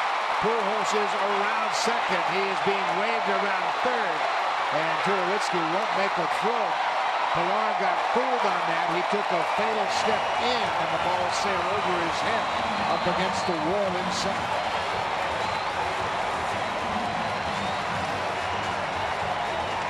Pujols scores all the way from first. Murphy picks up his 35th RBI of the season. Ball hit pretty hard off the bat of David Murphy, and it's a tough read for an outfielder. That line shot right at you, and that's what Kevin Clark made the one big mistake, and that's coming in, and you have not gotten a clean read on that baseball. And he knew right away. He just turned around and started running to recoup. We don't see that a whole lot. Of Kevin played an outstanding center field this year for the Blue Jays.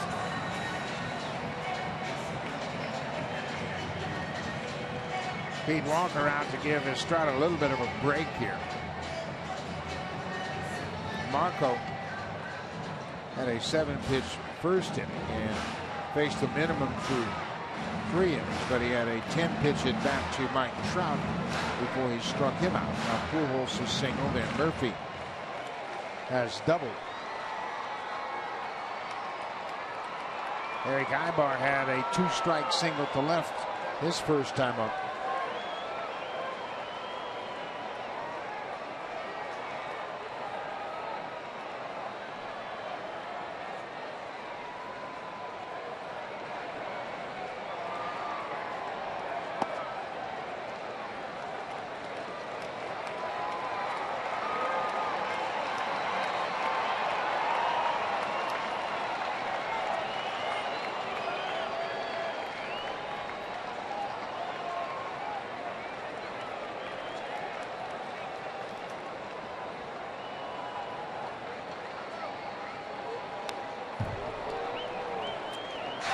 You missed it, the Yankees won this afternoon 6-3. They beat the Indians. Luis Severino, the rookie, picked up his first major league win. They beat Danny Salazar of the Indians. Baltimore lost to Minnesota 3 to 2. Casey Fien, the winner. Chris Tillman takes the loss.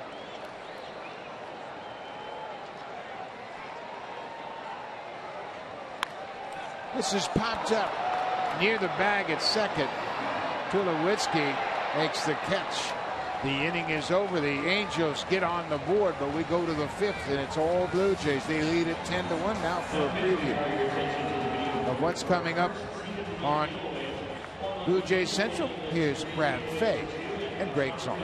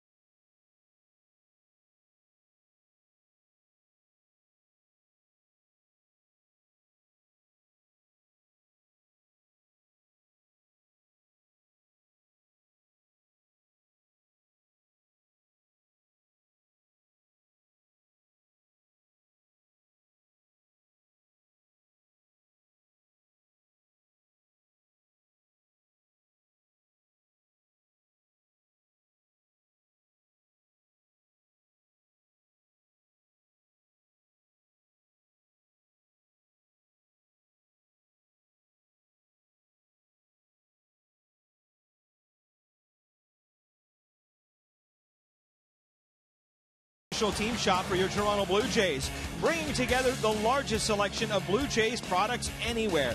Visit us online at jshop.ca. Buck, I think that the Josh Donaldson 20 jersey may be one of the more popular ones. What do you think?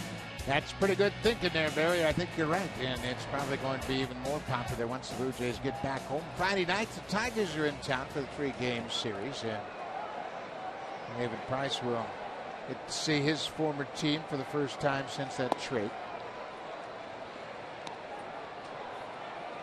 For the Blue Jays here in the fifth, it'll be 8 9 1.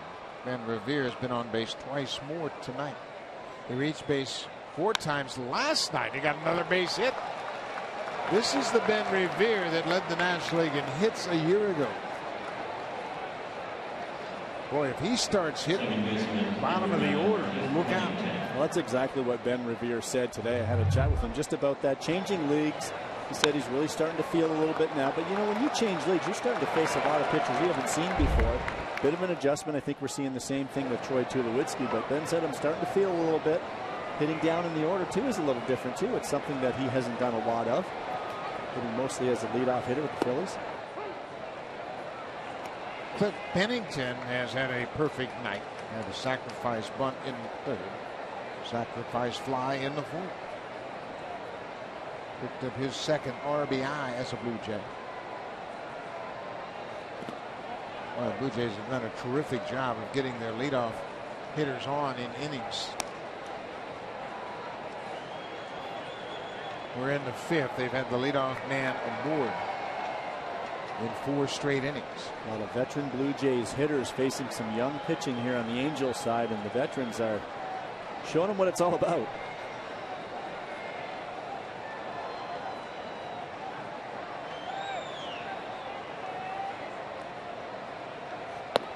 Ben Revere is six for seven in this series. And he's been on base seven times with a walk tonight. He struck out the only at bat he hasn't reached base. Struck out in the seventh inning of last night's game.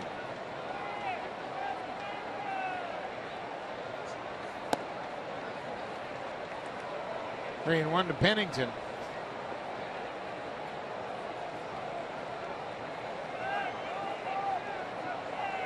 David Price seems to be enjoying his new ball club. Man, you guys can hit. Price, of course, is 3 and 0.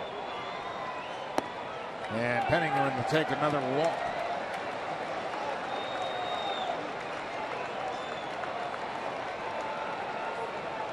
Shortstop, number two, Troy Tulowitzki.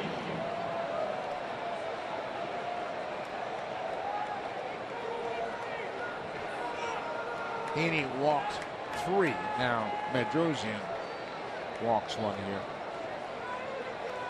First and second, Troy Tulowitzki. He walked and scored in the fourth.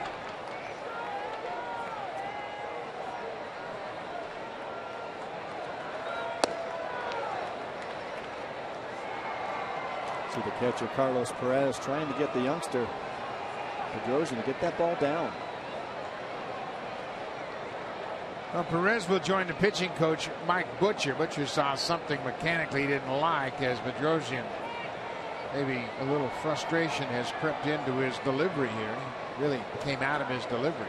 Sometimes you see a young pitcher trying to amp up a little bit, maybe overthrow the baseball when they do that. They really jump out with the front side. That arm trails a little bit, and then you're going to miss up in the zone.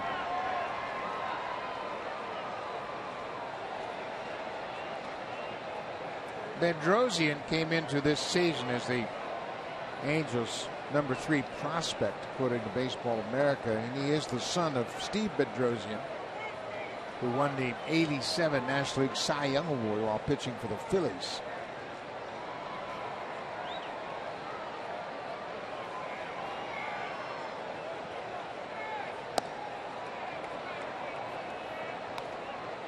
Well, the Blue Jays have made the Angel pitchers work tonight.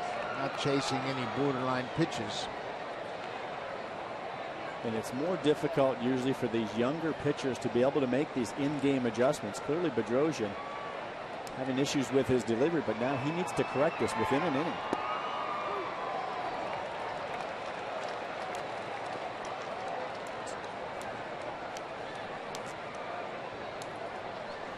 Trevor Gott pitched two thirds of an inning in last night's game. He threw just 10 pitches, so he's starting to loosen up for the Angels.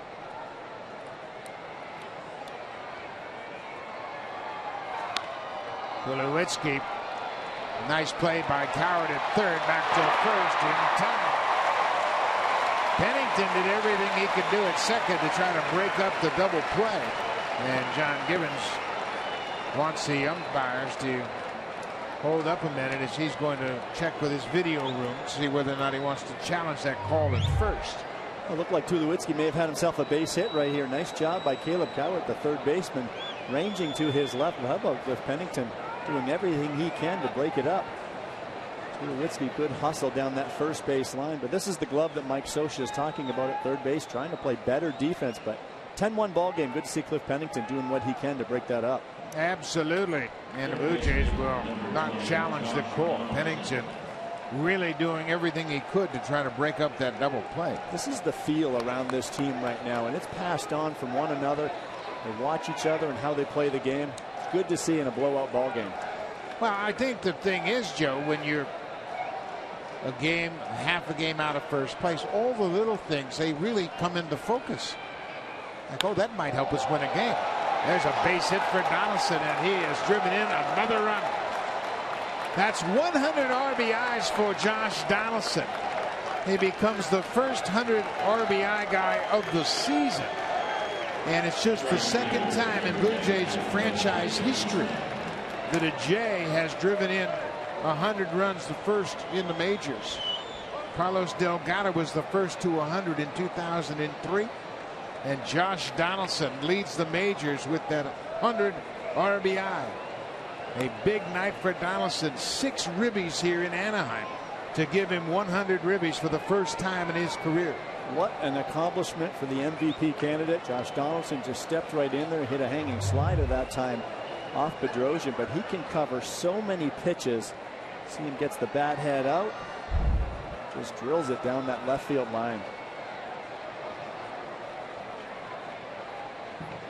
Jose Bautista had a two-run triple his last time up. Jose is two for three. Blue Jays now have 11 runs on 13 hits.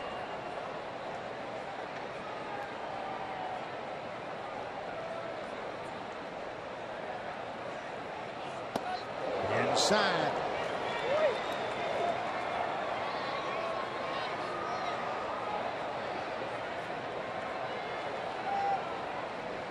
Ben Revere has scored three runs tonight.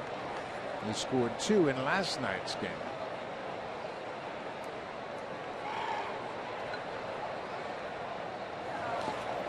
Breaking ball in the dirt.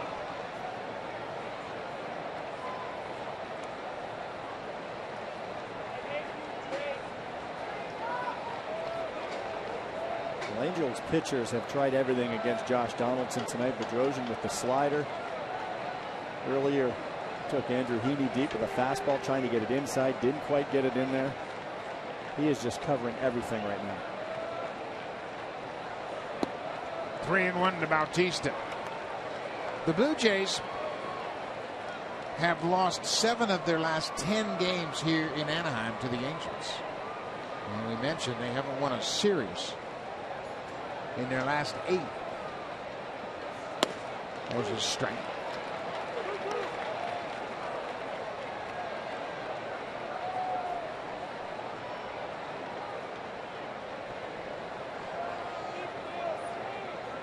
Edwin's chomping at the bit to get up to the plate as well. These are the nights you want to just keep on swinging it. Bautista on the 3 2 pitch fouls it back over the screen and out of play.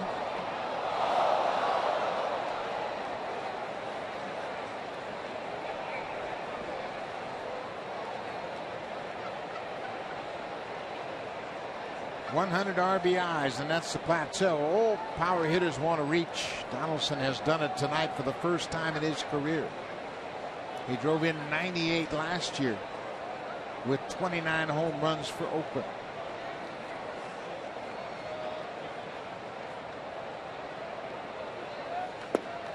Breaking ball, strike three. Bedrosian gets Bautista with that curveball. Blue Jays get another run here in the fifth. Josh Donaldson has driven in six of the Blue Jays' 11 runs. This time he waits back on a breaking ball. He's only a triple shy of the cycle, and he's driven in six.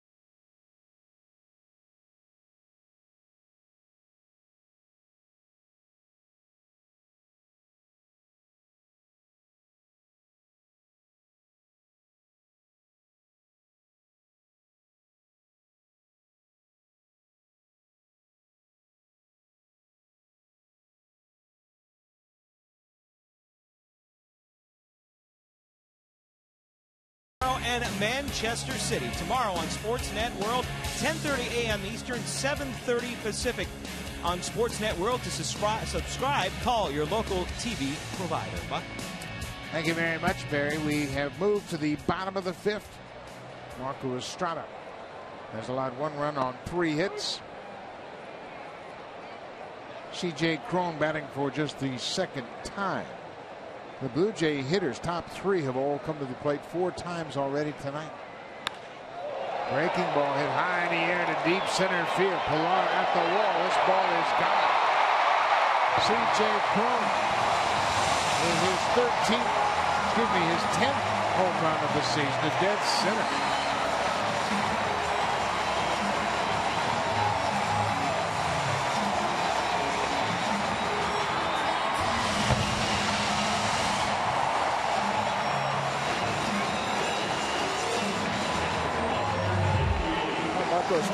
We talked about earlier, he'll mix in the odd curveball. Doesn't throw many of them, but C.J. Cron was sitting on this pitch in this particular situation and made no mistake. That's his third career home run against the Blue Jays. He had his first two major league home runs at Rogers Centre last May. Sometimes a hitter will go up looking soft, and you can do that against Estrada because you're going to see a lot of those changeups. He may not have been looking for a curveball in particular, but sitting off speed drove that ball very well. So fly ball to right. Bautista quickly over near the line. Carlos Perez is read time.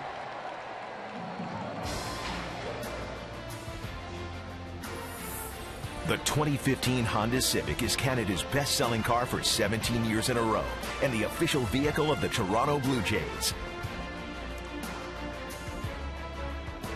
Beautiful evening here in Anaheim, and it is a wild one. 11 to 2 Blue Jays. Marco Estrada taking advantage of the hot Blue Jay bats tonight. Kaleb Cowart, boy, he's had a good game defensively. He's made some nice plays, including starting that double play off the bat of Tulowitzki in the top half of the inning.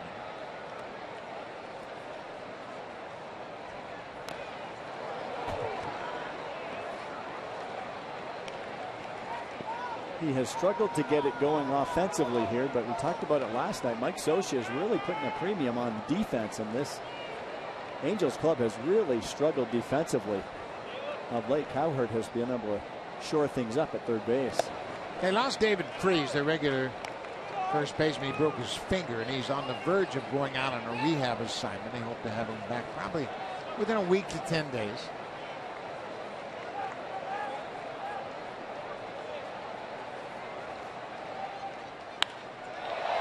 There's a fly ball deep to right. Now looking up. This ball is gone.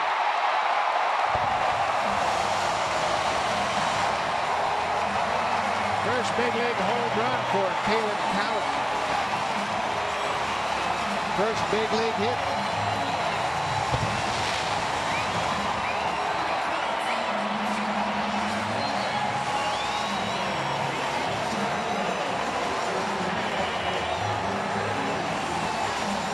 Well, tough to celebrate in a blowout ball game, but he will still enjoy that one.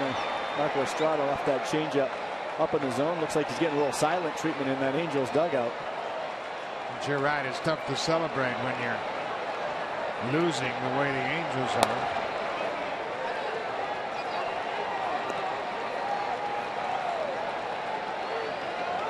Eleven three now. Hard not to smile, too, though. This ball is drilled to center. Pilarga turned around, but he makes the catch off the bat of Grant Green. Two down now in the fifth. now they're giving him a little love.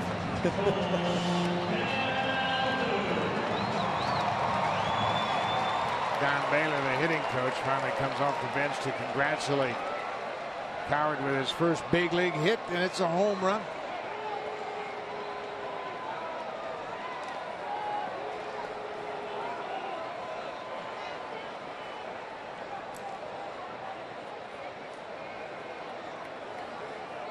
Back to the top of the order. Calhoun has flied out twice to right field.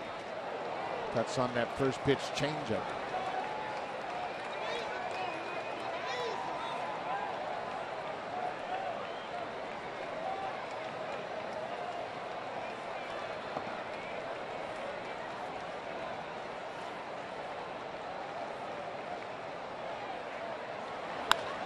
That's a foul ball.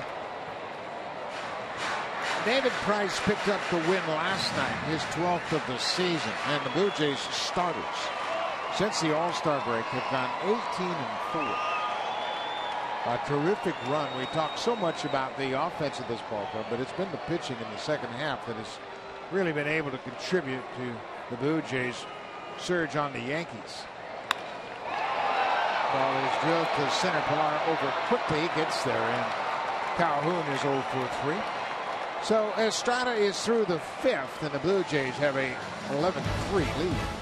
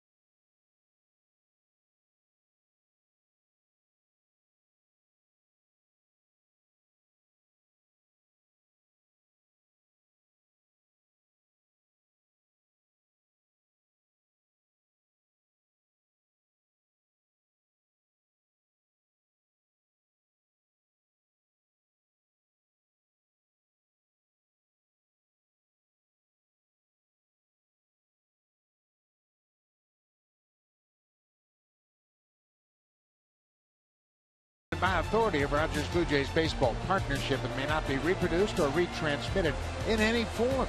And the accounts and descriptions of this game may not be disseminated without the express written consent of Rogers Blue Jays Baseball Partnership.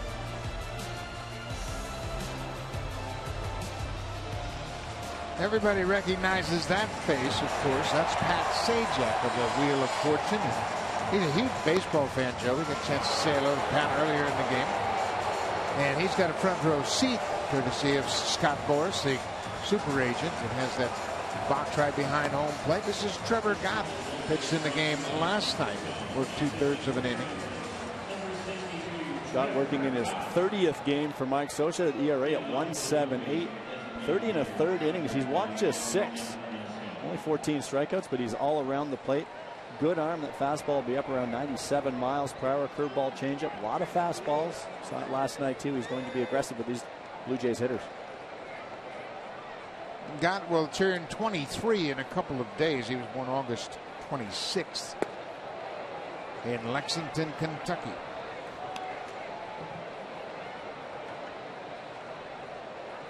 Edwin Encarnacion has extended his hit streak to 7, 18 straight. Came in with a 17 gamer and doubled in his first at bat.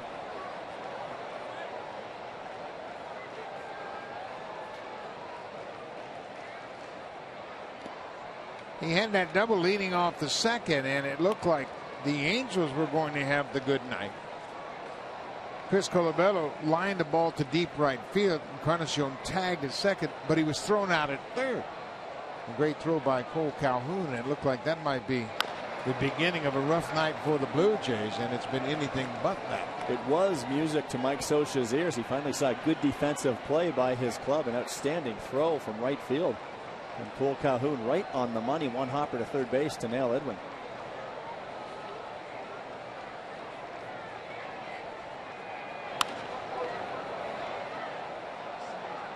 Two balls and two strikes to Encarnacion.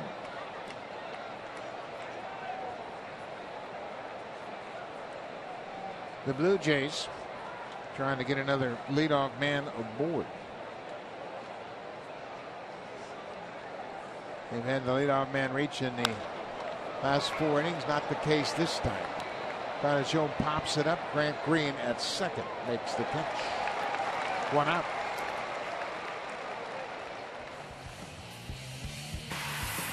Save during Canada's Color Expert Sale. Only at Home Hardware and Building Center locations. Homeowners helping homeowners with expert advice.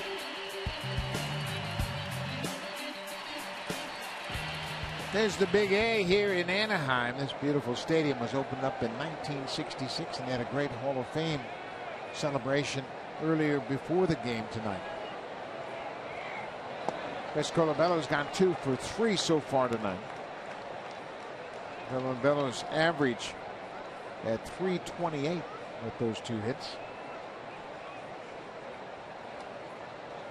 See how the right-hander Trevor Gott really straddles the pitching rubber. Then he pitches from the third base side. Makes it very tough on right-handed batters. It's almost like he's on top of you. And he's almost got a little three-quarter delivery as well with that real live fastball we've seen around 96, 97 miles per hour. Right-handed hitters certainly having struggles against the right-hander, and you can see why. Well, we mentioned the Hall of Fame ceremony. That's Tim Salmon in that white shirt. He was a great outfielder here for those Angels in their heyday. They won the World Series in 2002. Salmon was a terrific two-way player. And then Darren Erstad, Garrett Anderson, and Adam Kennedy came out to receive the first pitches from the Hall of Fame inductees. There were three players inducted. Salmon, Mike Witt, and Dean Chance from the 60s. And they all threw out the first pitch. Dean Chance on the left of your screen, great pitcher. First Cy Young Award winner for the Angels. Mike Witt threw a no-hitter on the final day of the season in 1984. Great job by the Angels today. Very nice presentation. Tim Salmon's involved in the broadcast here. Grant Green double clutches, but still has time to throw out Colabello. Trevor Gott two up, two down here in the sixth. Many of the former inductees in the Hall of Fame were present on the field for the celebration. Bobby Knoop, the great second baseman to play with Jim Fregosi, Don Baylor, one of the two MVPs the Angels have had in the past. Rod Carew, Jackie Autry, the widow of the former owner Gene Autry, was here. Of course, Jim Fregosi has passed away, but Don Baylor was in his uniform when he was on the field as they took part in these ceremonies. Johnny Navarro has been on base twice tonight. He walked in the fourth and singled in the fourth as well. Ground ball. Gobbled up by Green. Blue Jays go down in order for just the second time tonight. They did it in the first. They've done it here in the sixth. Trevor Gott does the trick.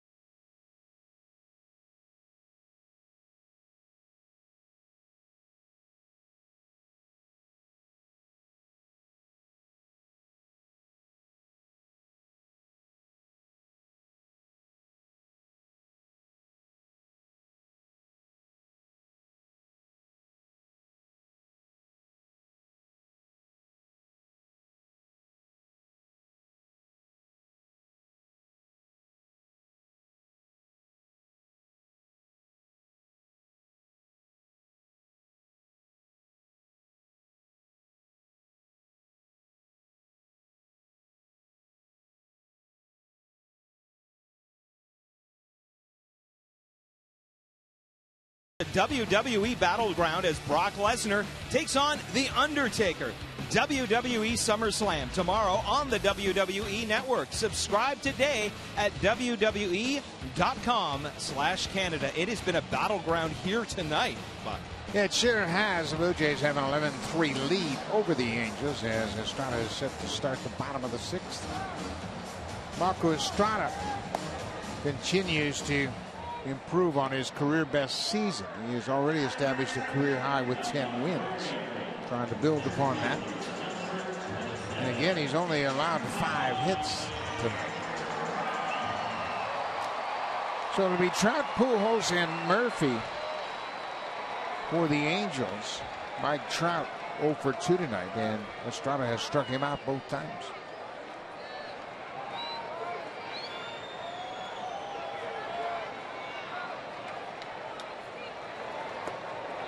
First pitch changeup, and now you can see there's a little frustration entering into Trout's approach.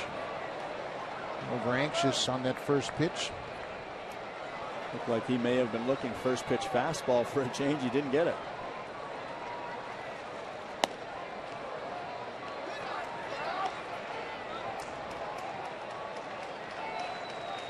There you see the numbers for Trout over his last 14 games, hitting under 200.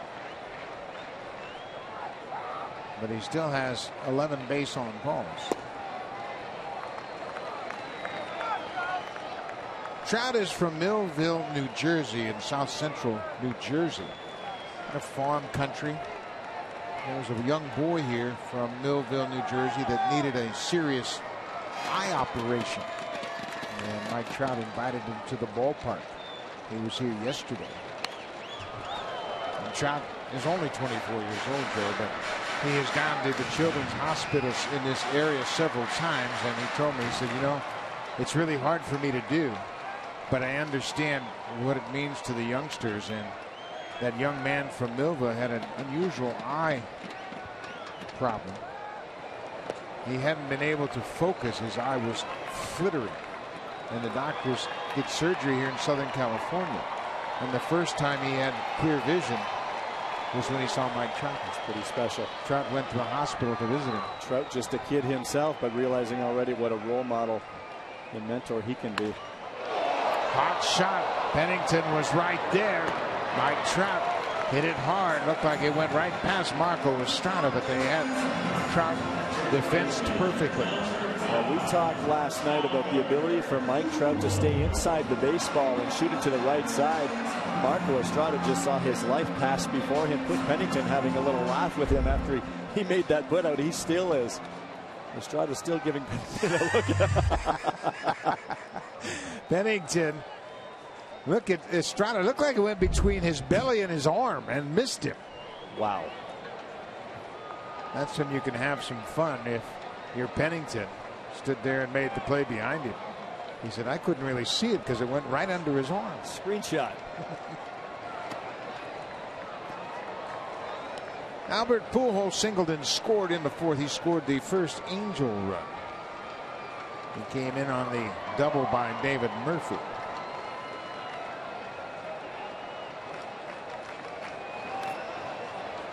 That's the kind of swing you see from Mike Trout when he's starting to get his timing back and figure things out. That's not a good sign for the Toronto Blue Jays, but hopefully they can get out of town before Trout heats up. Yeah, he really hit that ball well. That Cecil starting to limber up for the Blue Jays.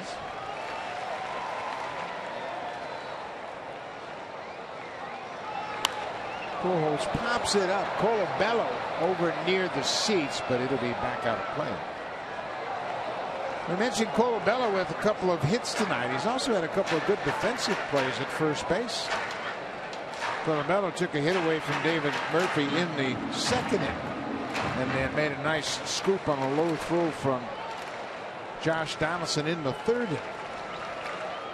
he's had a good night with the glove and with the bat. Chris has said he feels comfortable at first base. It's more of his natural position. Of course, he was put out in the outfield a little bit this season, playing out of position. Not as easy that transition, but feels pretty good and doing a nice job over the first base bag tonight. And Pujols strikes out. That's four strikeouts, and Marco Estrada, well, he has really taken it up a notch here in the second half of the season. And that's been the trend for Estrada. Well, if you look at the past years, that's one thing. Marco has been a second half guy. Look back in 2013, that ERA just under three and a half, 14 under three continues to get better. And then in 2015, that ERA at 2.45. We're seeing a lot of that tonight. That mix of pitches, changing speeds, and really able to command the strike zone. Doing a nice job, and of course, being quarterbacked by Dioner Navarro tonight.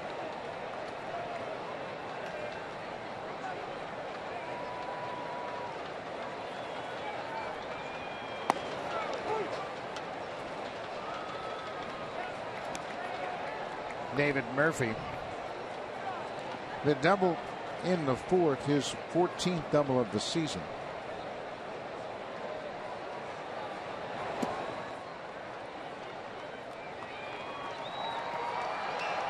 Marco works from the first base side of the pitch and rubber, and what that does, is it allows him to get the ball glove side, which is away to righties and inside on left-handers more easily. It just helps him. He feels he can always get the ball away, no problem. Murphy shoots it down the left side, but it's foul. That pitch right there, he feels is pretty easy for him to throw that fastball on the outer part of the plate or arm side. But watch where he toes the slab right here, way over on the first base side of the rubber.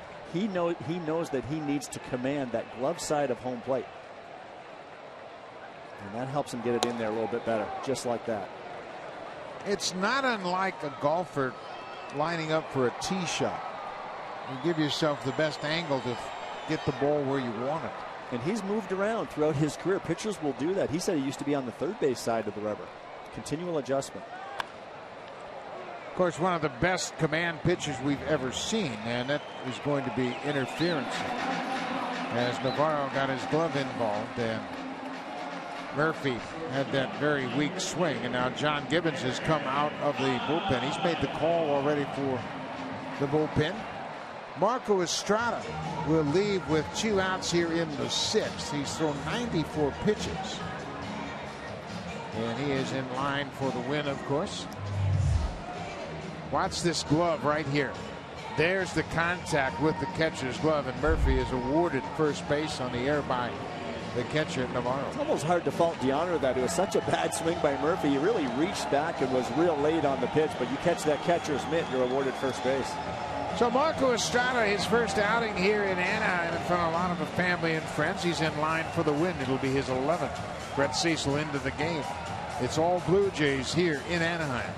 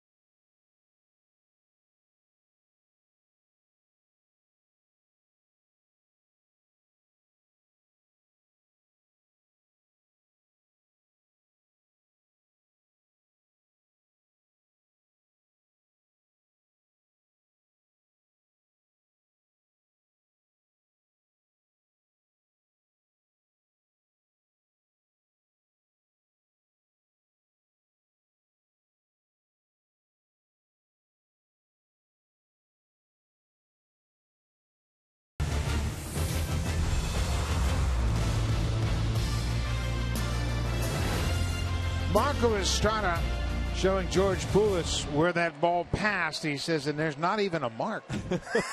he got lucky. That's why there's not a mark.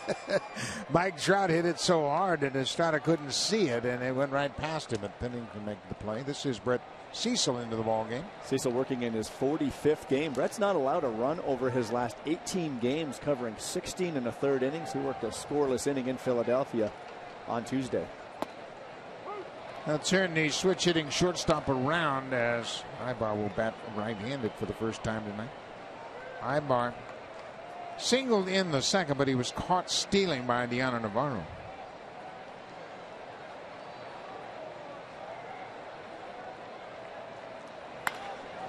Hot shot knocked down by Donaldson. He'll have to hurry. He throws it away into the Blue Jays dugout.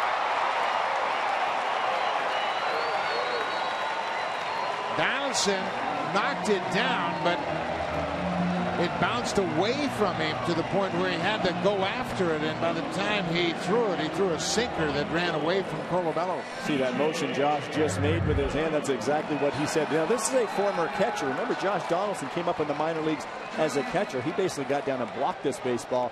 But the off balance throw as a third baseman, you really want to throw that ball to your left into fair territory because it's going to slice back did everything he could. What an outstanding job blocking the baseball. DeMarlo Hale calls Josh Donaldson risk taker, playmaker, and that's why he's not afraid to take a gamble. Fly ball to center off the bat of C.J. Cron, and that'll end the inning. So Cecil comes in and gets out of it. Aybar credited with an infield hit. Donaldson charged with an air. No harm, no foul. We'll go to the seventh. 11-3 Blue Jays.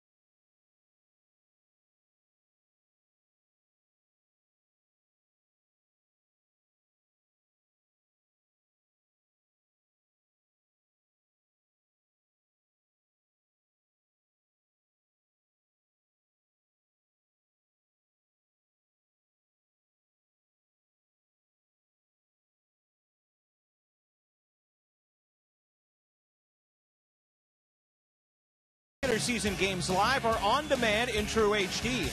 Real time highlights, live look ins, pitch tracking, and much more. It also includes a free At Bat 15 subscription. Watch baseball at home, at the office, or on the go. Season long subscription packages are available. Visit BlueJays.com for more details. And there are plenty of highlights from tonight's ball game, Buck, that fans can watch on that MLB Live 15 At Bat. Lots of highlights. You can talk about defense. You can talk about home runs. We've had a little bit of everything tonight. Your pitcher into the game is the setup man, Joe Smith, who's getting an inning of work. Trevor Gott retired the side in order in the seventh. Now it's Smith. Smith with that ERA at 2.66. He's worked in 53 ball games. 14 walks and 40 strikeouts. He's a ground ball machine. Fastball be around 88. Slider and changeup. He's pitched in four straight games, Sunday through Wednesday, scoreless inning in each game. So this is a guy that can give Mike Scioscia some work out of the pen.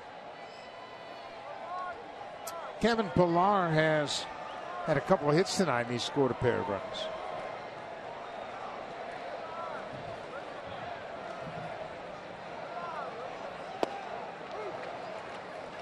Smith has been a terrific complement to this bullpen here in Anaheim. He's 31 years old now. He sets up primarily for Huston Street. Sinker slider pitcher, and that was a good example of that sinking fastball down and in. And that's why he's a ground ball machine. He's got that three quarter under sidearm delivery. Gets good sink on the baseball, gets those hitters to catch the top of the ball and beat it in the ground.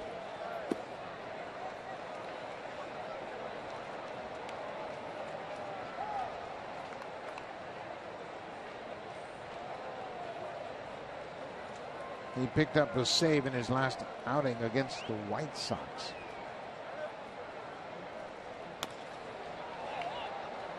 Barr fights it off. Blue Jays will wrap up this series tomorrow. And they've got a tough customer in Garrett Richards, who's 12 and 9 on the season. R.A. Dickey will go to the mound, the knuckleballer. And there's been a lot of speculation that Josh Thole might join the ball club tomorrow. Pillar lines out to Aybar at short, one down.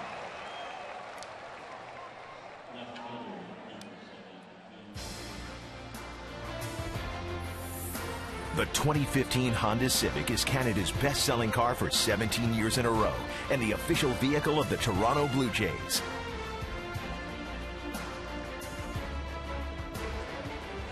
Beautiful Anaheim Stadium, home of the Angels. Those are a couple of big baseball caps they have in the entrance to this ballpark. It's an easy landmark for people when you're going to a game to say, meet me by the big red hats. ben Revere has had some series. He's been on base all three times tonight. He lines out to the shortstop. He's starting to swing it. Well, is he ever? Ben can't do much about that one. Lines it right at Erick Aybar at short, but that's one thing. It's all about timing and hitting. How many times do we talk about? Well, I think Ben's finding his rhythm and his timing. When a hitter gets that front foot down, you want to be in that launch position back there. I think he's got the timing down with that big mechanism he has to get those hands going. Ben Revere's mentor is here in the house tonight. The Hall of Famer Rod Carew. They were together with the Minnesota Twins. Revere always talked about Carew telling him, know yourself, know that you're not a power hitter, let the ball come to you and feel where that barrel of the bat is and take the barrel to the baseball.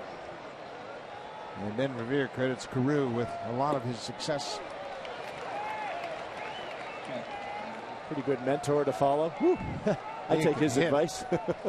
Of course, his number is retired here by the Angels, also by the Minnesota Twins. He started his career in Minnesota.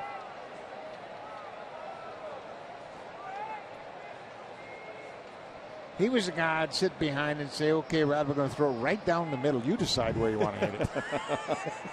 Best chance to get him out, probably.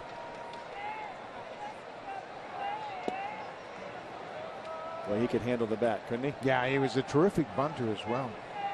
And he was a little bit along the lines of Wade Boggs when he wanted to. He could really put a charge in, kind of like Ichiro. A little unorthodox stance, crouch down. It's a thing with those hitters that can really handle the bat like that. It's tough to pitch to them. Tony Gwynn was one, of course, too. You go away, they can flip it to the other, the other way to left field. You try to come in, they're quick enough to get to it. Off speed, they allow the ball to travel. Full count to Cliff Pennington. He's had a perfect night at the plate. Troy Tulowitzki would be next.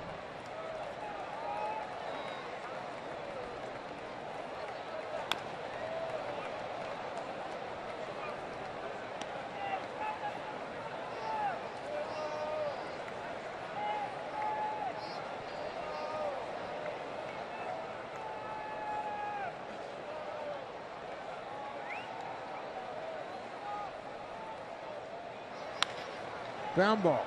Grant Green takes the short hop, throws to first. Joe Smith retires the side in order in the seventh. We'll go to the bottom of the seventh. Blue Jays have an eight run lead here in Anaheim.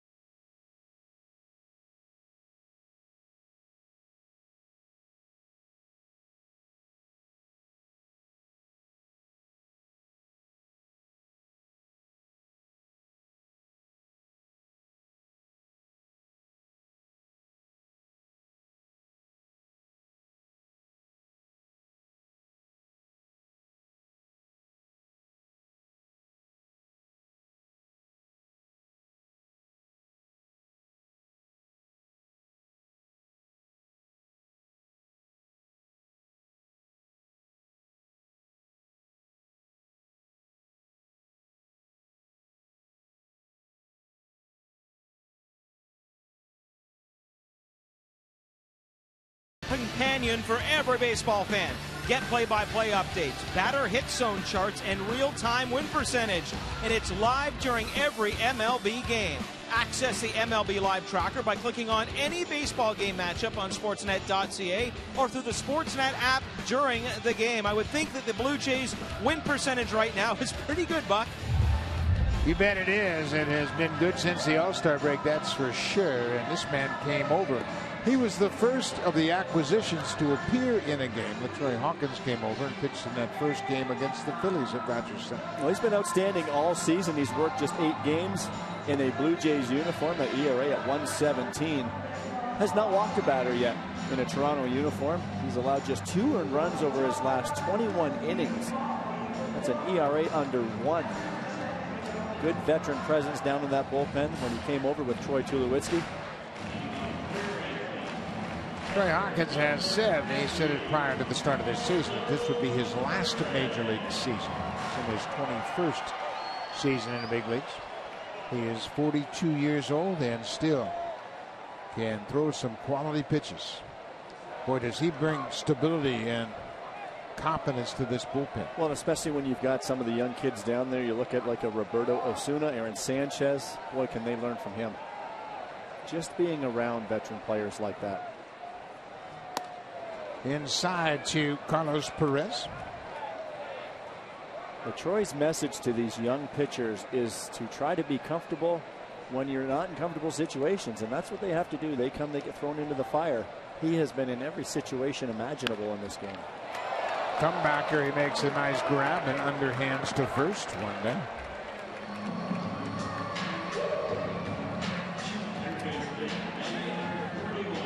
Big crowd here tonight in Anaheim, 42,578 in attendance.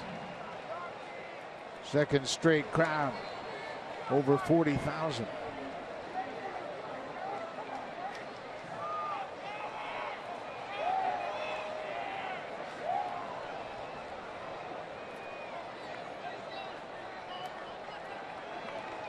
Kaleb Cowart hit his first major league home run in the fifth. It was also his first big league hit. Snapped a streak of 0 for 14. Cowart was a number one pick of the Angels and had some early success and then really hit a stone wall in double A. He just couldn't figure out hitting and they made him stop switch hitting. He was even contemplating giving up hitting and going to the mound. He had a strong arm. He was a two way player in high school. But he got everything going back, and he is right here in the big leagues now.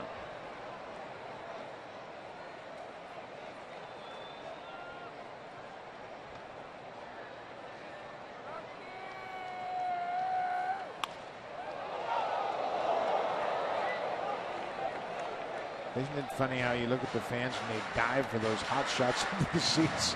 Scary, isn't it? It's as if they've never felt the baseball. It's they're diving for those things. You and I are both diving to get out of the way. but they get into the seats in a hurry.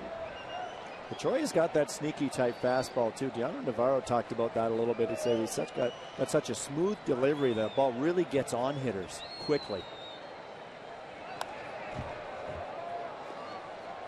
Hawkins started his career with the Minnesota Twins, and he was actually a starter. He came up in 95, made six starts, six more starts in 96, and then 20, 33, and 33. 2099 was his last season as a full time starter.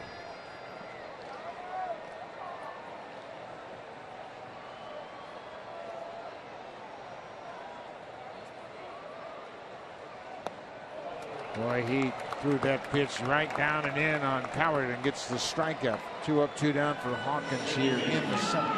It's a devastating slider right there. But Troy will be around 93 miles per hour with the fastball. He's got slider and changeup. You get a lot of ground balls. And he's a veteran type pitcher as well that's really tinkered with his delivery. You'll see when he comes set here working from the stretch position. He really comes set with his glove away from his body. And that's something over the years that he's continued to adjust with to allow to get those arms moving. Another comebacker off the mound of Grant Green. Easy inning for LaTroy Hawkins. It took him eight pitches to retire the side in order. We'll go to the eighth. The Blue Jays trying to win a series here in Anaheim.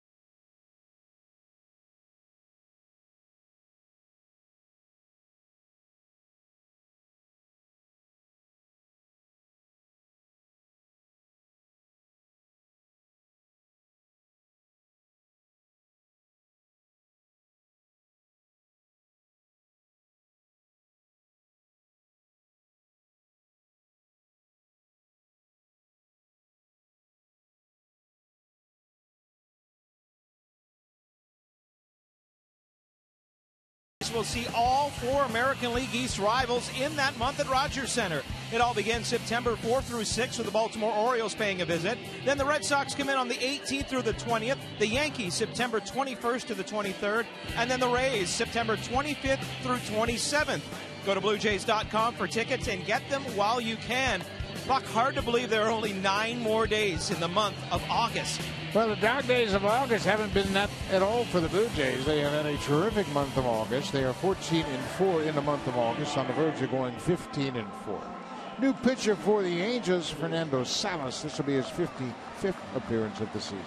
Salas has that ERA at 4.04. He's only walked eight batters in his 49 innings of work. Pitched one and two thirds innings last night here in Anaheim. Allowed one earned run on two hits. Salas fastball be around 89 miles per hour and slider and changeup to go with it. Wholesale changes for the Angels here in the eighth. Chris Iannetta has taken over at first for Albert Pujols. Ty Jackson came in into short for Erick Aybar. So Aybar and Pujols out of the game. Shane Victorino takes over for Mike Trout in center. And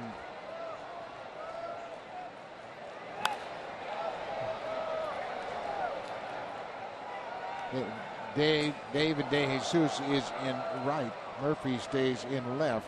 DeJesus takes over for Kole Calhoun.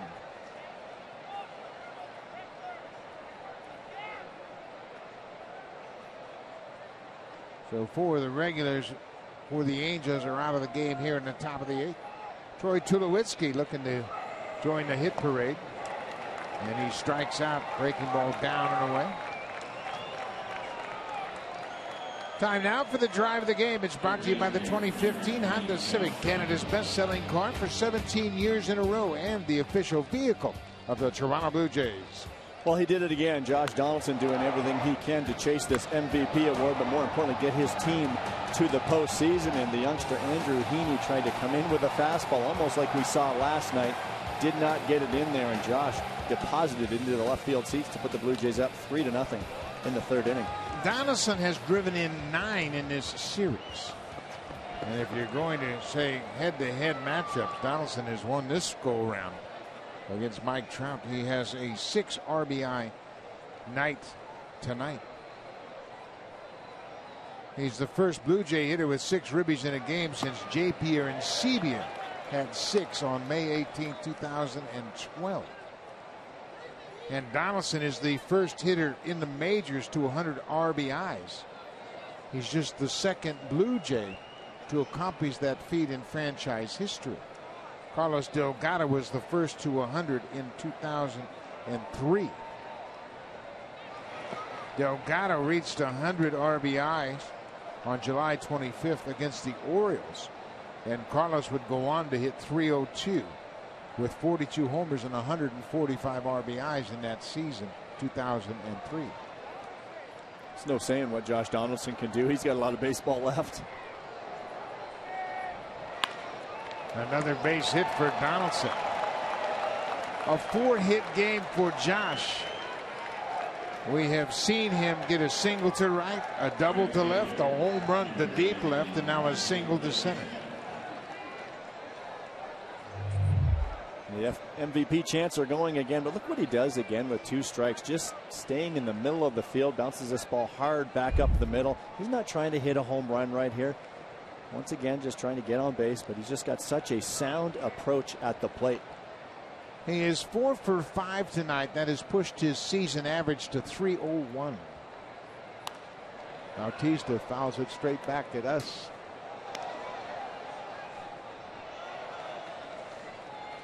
Jose had a two run triple in the seven run fourth inning. He hit it off the wall in deep right center.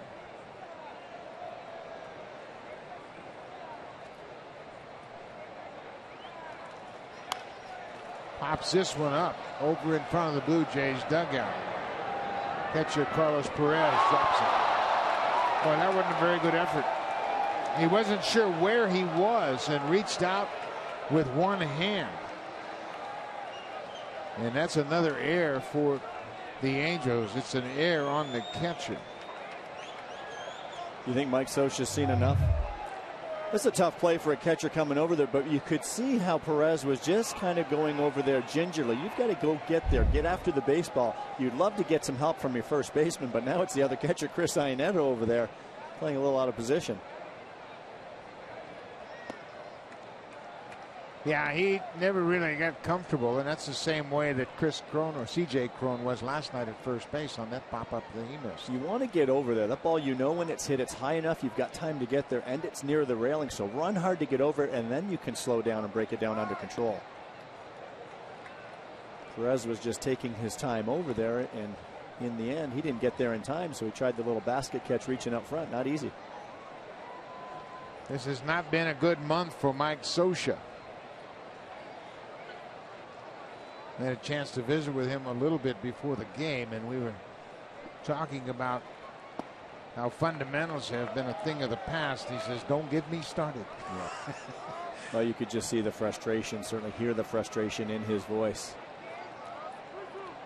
You talked about it last night. He's always worked around a good defensive ball club, and that's just gone by the wayside here with this Angels team. Bautista pulls it past the shortstop in the left Bautista with a three hit night. That air proves costly as Bautista gets another opportunity and he delivers a base hit.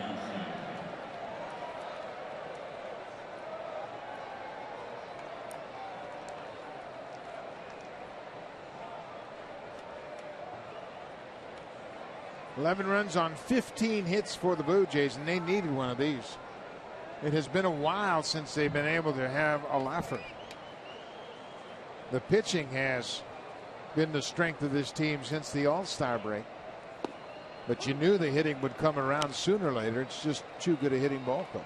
Well, you saw this club hitting really early in the first half of the season, and it was the pitching that really struggled. So we talked about it how often where you can hit all you want, but if you don't pitch the baseball and get people out, it's going to be hard to play winning baseball. That's why the Blue Jays continue to teeter around 500 for the longest of times.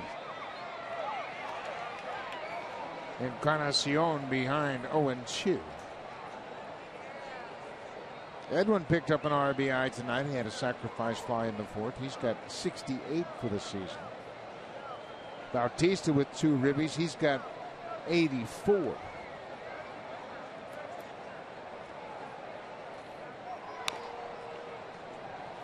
Been a busy night for DeMarlo Hale as he's trying to fill out the Angel lineup. They had wholesale changes in the top half of the eighth here. Okay, this guy's in that spot. That guy, okay, this guy is. It's not just the names, they got to go in the right spot. And how do you spell this guy?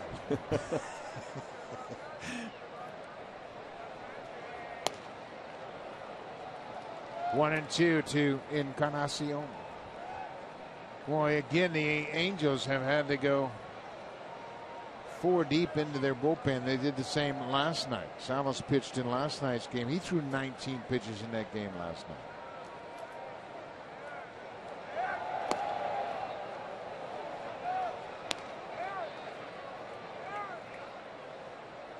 That's the one thing managers are always concerned about short starts. And they've had short starts in back to back games. And it's not hurtful just on that night. It's the next day and the day after that. You have a short start from your starting pitcher, and that can affect you for a few games afterwards. That has helped the Blue Jays sort out their bullpen situation because the starters have been so effective. The relievers have had adequate rest and have responded very well.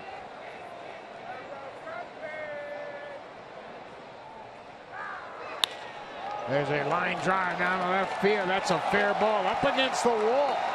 Donaldson's in to score. Here comes Bautista. He's being waved home. Two more RBIs for Encarnacion. Donaldson and Bautista scoring on the second double of the night from Edwin Encarnacion.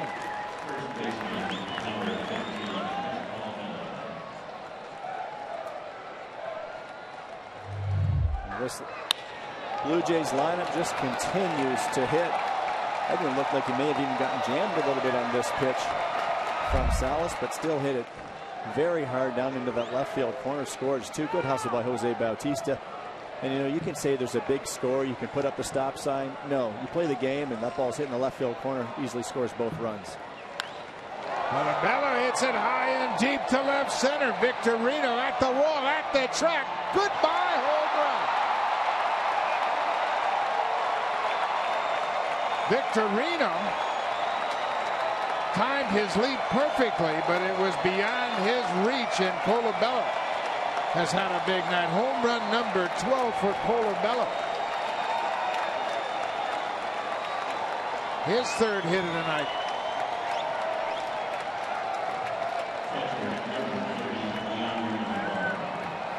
Well, the Blue Jays lineup is just continuing to pound the baseball.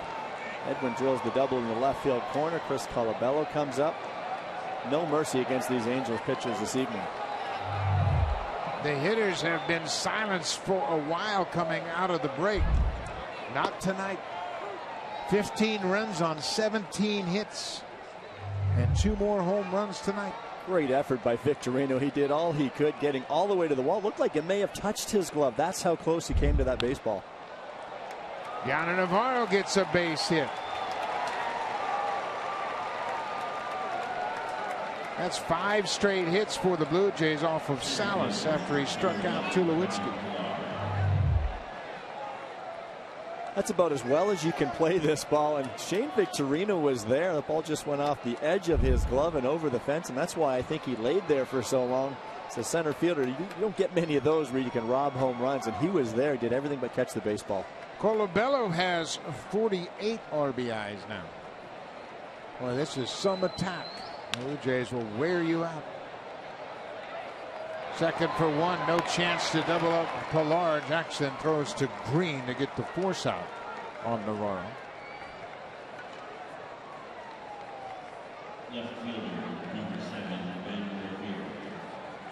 Well, there have been some batting average that have been boosted here tonight.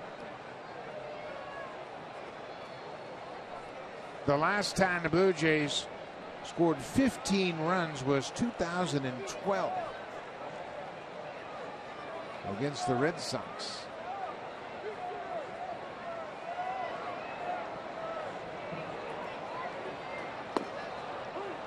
Colabello with three hits tonight has raised his average six points. Donaldson is up over 300. Came into this game batting 296. He's now hitting 301. Ben Revere with two more hits tonight. He's two for three.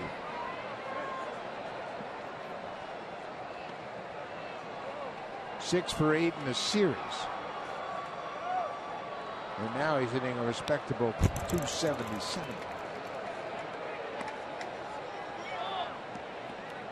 And you can bet he saw Rod Carew sitting on the field during that pregame ceremony, and he was thinking, you know what? Let me really bear down in front of my mentor, Rod Carew. he has done that. Started it last night.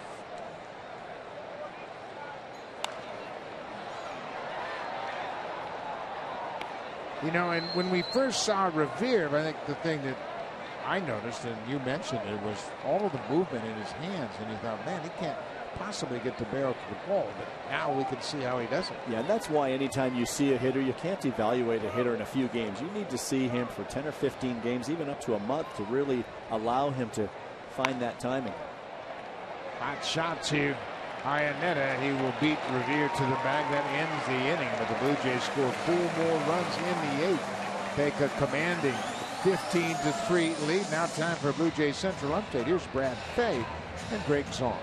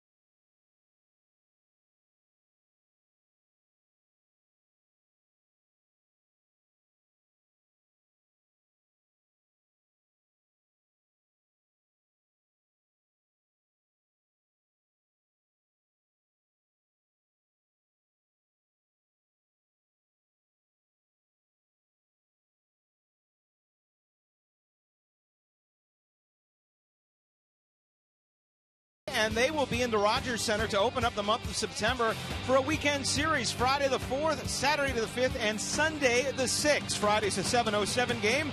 The Saturday and Sunday at 107 for tickets, which are going very fast. Go to BlueJays.com. And some changes, Buck, for the Blue Jays here in the eighth inning.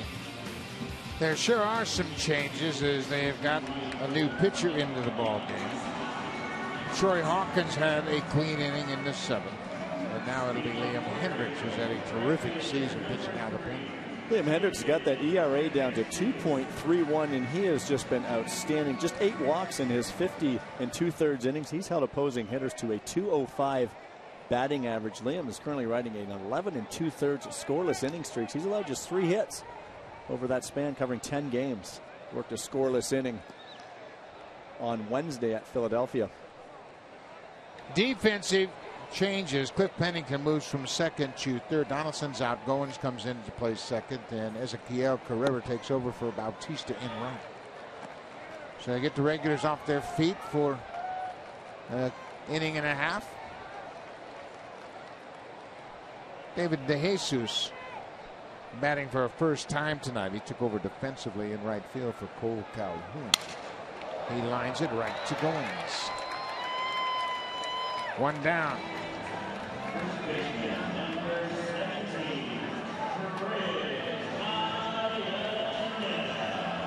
DeMarlo Hale continues to try to figure out that puzzle on the wall of the dugout. Okay, this guy is out. Goins is here. I'll put this guy over here. Earning your money tonight, DeMarlo. you know, you can laugh at it now because it's 15 to 3, but boy, you get into a tight ball game and you start making some changes. You better make sure you've got your lineup card in order. We saw a little bit of that in Philadelphia with those interleague games. Get those double switches happening. You got to make sure that you're putting the right player in the right lineup slot. This is Chris Iannetta, who took over defensively at first. He's batting in Mike Trout's spot. Number two in the batting order. Iannetta has been behind the plate for the last two ball games. He was one for four in the game last night, had an RBI double in the fifth off David Price.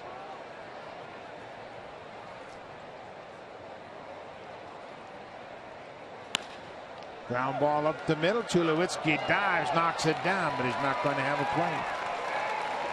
It's a base hit for Chris Iannetta.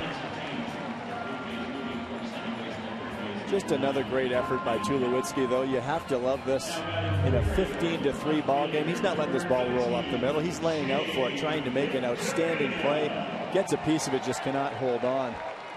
But this is what I mean. We talked about Cliff Pennington breaking up a double play earlier. He's Tulowitzki diving into shallow center field to try to rob Iannetta of a base hit. He got it in the webbing of his glove, but couldn't come up with it cleanly. He had a shot at Iannetta. Shane Victorino batting in Pujols' spot. This is his first at bat. Well, you know, Joe, you mentioned Tulowitzki's effort, but if you're going to pick and choose the spots when you give 100%, then you're going to get caught flat footed. Exactly. And you can tell the feel around this ball club. They're feeding off one another right now. Popped up. Goins, the second baseman on the edge of the grass, makes the catch. Victorino's retired on the pop out.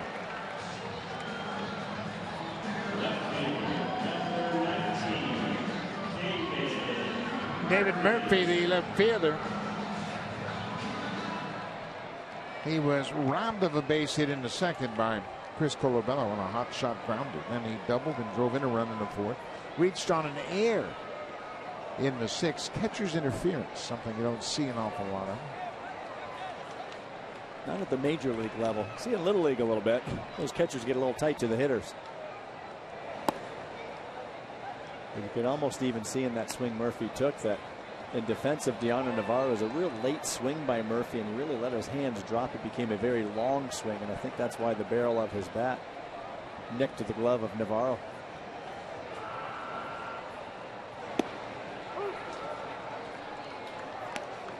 If you're wondering how that is scored,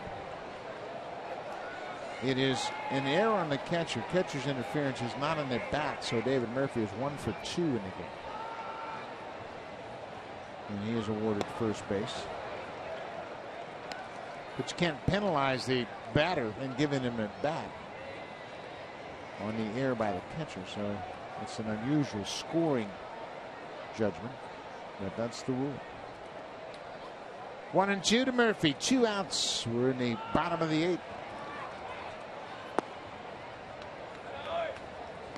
Blue Jays snap a long trend of losing series out here in Anaheim.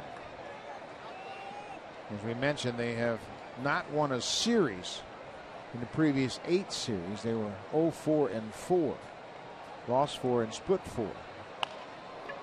That's a fair ball. Colabello goes to a knee, waves off the pitcher, steps on the bag. The inning is over. Hendriks gives up a single and nothing more. We'll go to the ninth. It's all Blue Jays.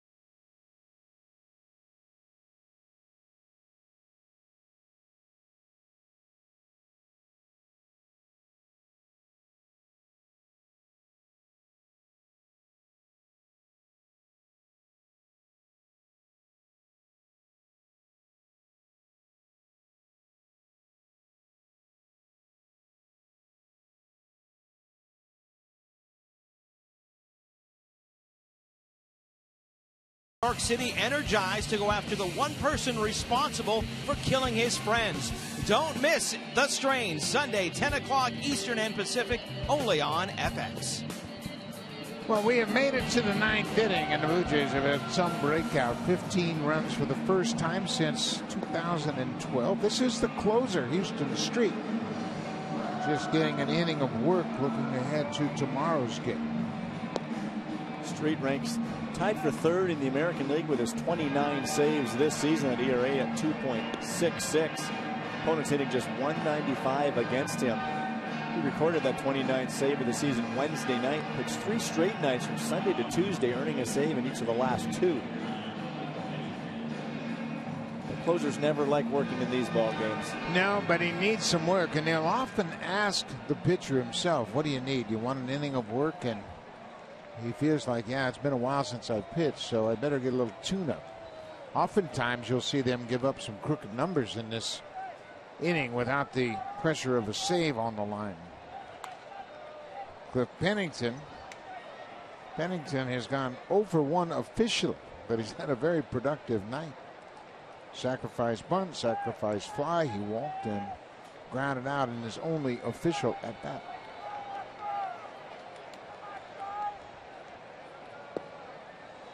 Huston Street's kind of unusual for a closer. He doesn't have a real dominant pitch. It's the assortment of pitches and the command. He doesn't blow the fastball by you. Doesn't have a wipeout slider or a great split.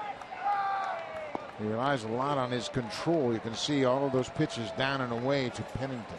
He will live on that outside edge. Fastball just averaged about 88 miles per hour. He's got a slider and changeup to go with it, but total command of the edges of the plate. Here's a changeup. Street is tied with Jeff Montgomery for 23rd on the all-time saves leaderboard. Obviously, this isn't a save, but Montgomery and Street are similar in that they are multiple pitch pitchers that rely an awful lot on command. I think the one thing Scioscia doesn't want to see from Street tonight is a 18 to 20 pitch inning. Yeah, you'd like to see a quick one here just in case he needs to use him tomorrow in a save situation. Trying to salvage a ball game in this series.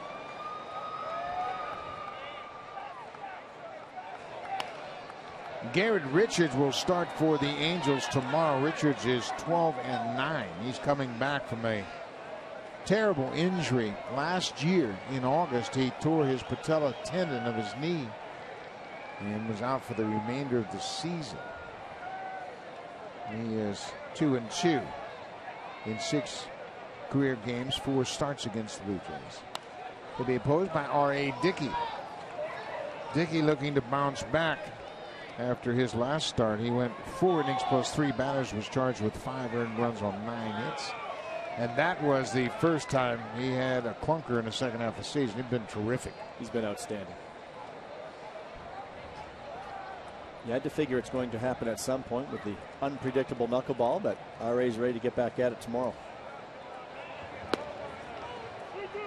Full count.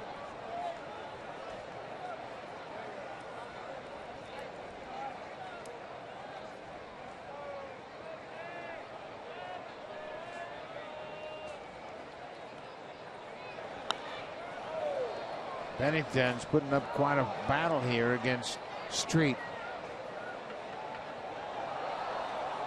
Nine pitches already racked up by Huston Street.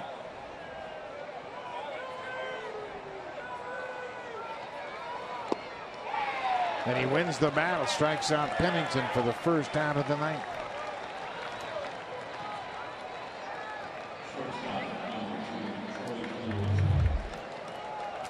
Good pitch again. Look at the command of the strike zone. He's staying on the edges. That ball staying down in the zone. Gets good downward movement. Pennington shaking his head going back to the dugout, but he's not the first one that's done that.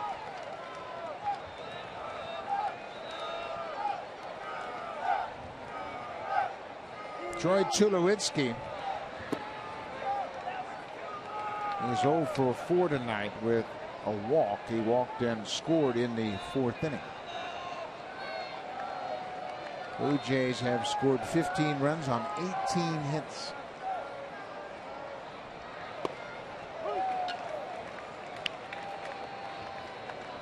Donaldson has had four hits. He's out of the game. He's driven in six runs tonight and nine in the two games here in Anaheim.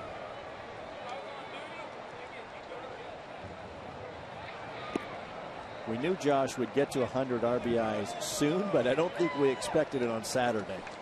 Isn't that interesting? we were talking about it on the drive over to the ballpark today, and I asked Scott Carson, would you look up this fact as the first to drive in 100? Has a Blue Jay ever done that in a season? He said, yeah, Carlos Delgado did it in 2003. We thought, well, Donaldson might do it next week. he did it tonight. Kaleb Cowart has played terrific defensively at third. He makes another good play to throw out Tulowitzki. Nice job by Cowart tonight at third base. Did a nice job last night, and he also collected his first major league hit, major league home run tonight. Unfortunately, going to be tough to celebrate this lopsided loss, but solidifying the defense over that third base for Mike Scioscia. Ryan Goins batting in the spot of Josh Donaldson. This spot is so hot, you should get a hit. Donaldson drove in three last night. He had two doubles in last night's game. He was two for three last night. Four for five tonight.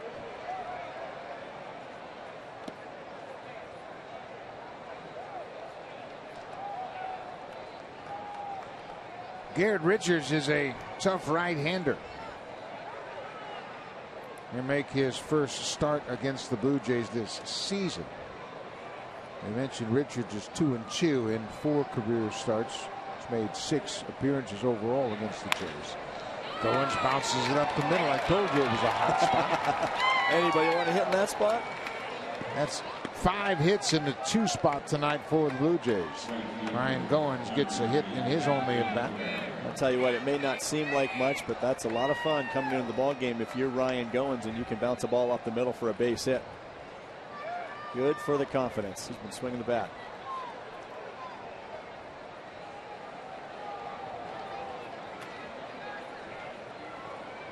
Ezequiel Carrera. He took over for Bautista Inwell.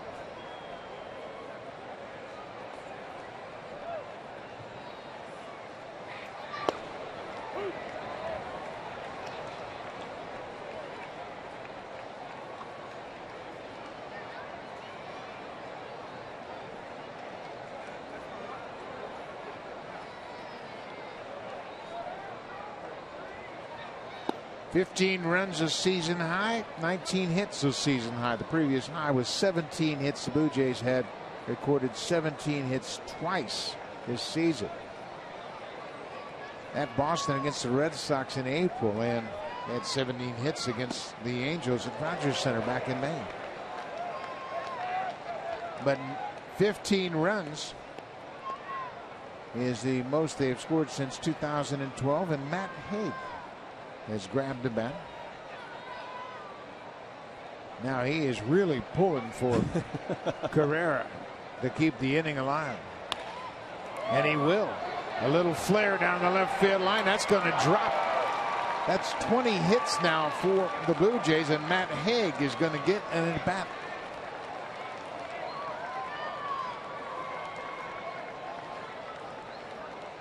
Hague will bat for Encarnacion.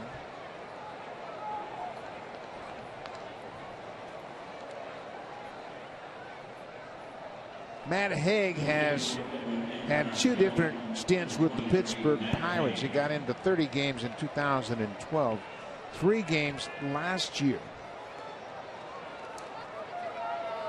He's had 16 hits in 72 at bats for his big league career. Big numbers in AAA Buffalo.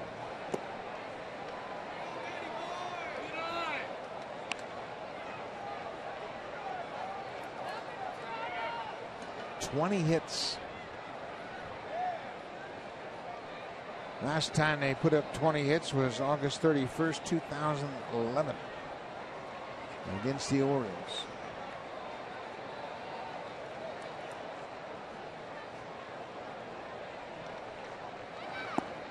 You just had a sense this was going to be the road trip where they'd get everything going. They had two more home runs tonight. They've homered in 13 straight road games. Brook Jacoby and Eric Owens were thinking that, you know what, things are about to break open for this team. There are too many good hitters not to have a good road trip. And Joe, you know what it is traveling this time of the year in a pennant race where the team is together. You're on the road. You're at the clubhouse early. You're always talking about baseball. Got baseball on TV.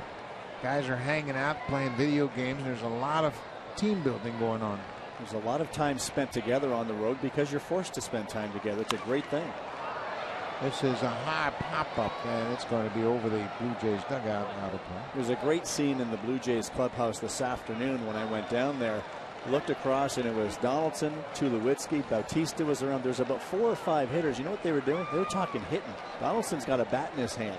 He's starting, he's initiating his swing, and he's talking to Tulowitzki about the bat path and getting that bat on plane. And the conversation spread to two, three, four players. And those are the things you're talking about right there. It's a, it's a great thing, and this is perfect timing for this club. They need to go on this run. Some important games here. Strike three call. Matt Hague called out. That'll end the top half of the ninth for the Blue Jays. Have had a great offensive night. 15 runs on 20 hits. Bo Schultz is going to get an inning of work. When we come back, he'll try to close things out here in Anaheim.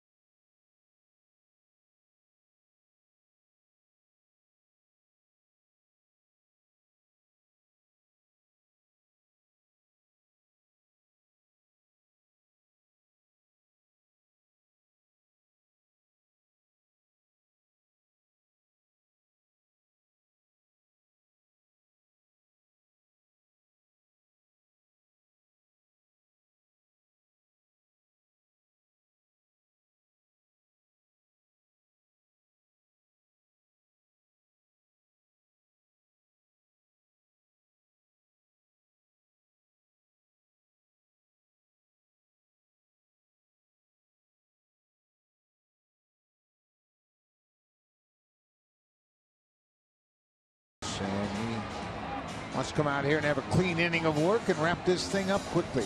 Yeah, Bo had a rough one the other night, Wednesday night in Philadelphia. He pitched two innings, gave up a few runs, a couple of home runs. Still ranks eighth in the American League among relievers with an opponent's average of just 180. So in that department, it's been excellent. Just giving up 22 hits in his 35 innings of work. Good power arm, fastball, slider, cutter. He'll be in the mid 90s. Cecil, Hawkins, Hendriks, and now Bo Schultz out of the Blue Jays bullpen.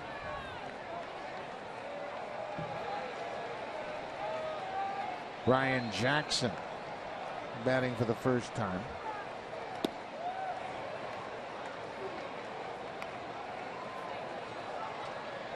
Jackson took over defensively at shortstop. He started at second base in last night's game. Bouncing ball. Pennington waits on it.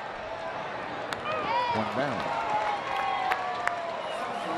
Now for a preview of what's coming up on Sportsnet Central. Here's Brendan Dunlop and Ben Ennis.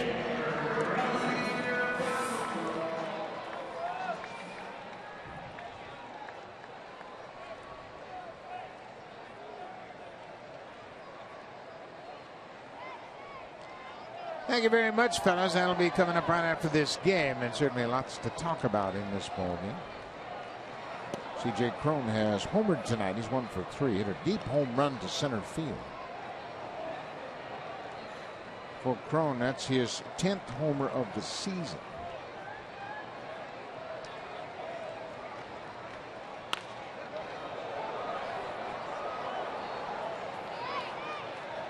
Ninety-six miles an hour from Bo Schultz, and that has been the improvement of this Blue Jays bullpen. The velocity they have down in that bullpen has turned things around for them. High powered arms down in that bullpen. Osuna and Sanchez, of course, in the back end. Mark Lowe gets it up there as well. And we've seen that from Liam Hendriks. That velocity now up as a reliever this season. As a starter, he was 92, 93, but now he can come and air it out for just an inning or two. And we've seen him in that 96, 97 range at times. A lot of weapons for John Gibbons. He went around. C.J. Cron tried to check his swing, but now it's two and two.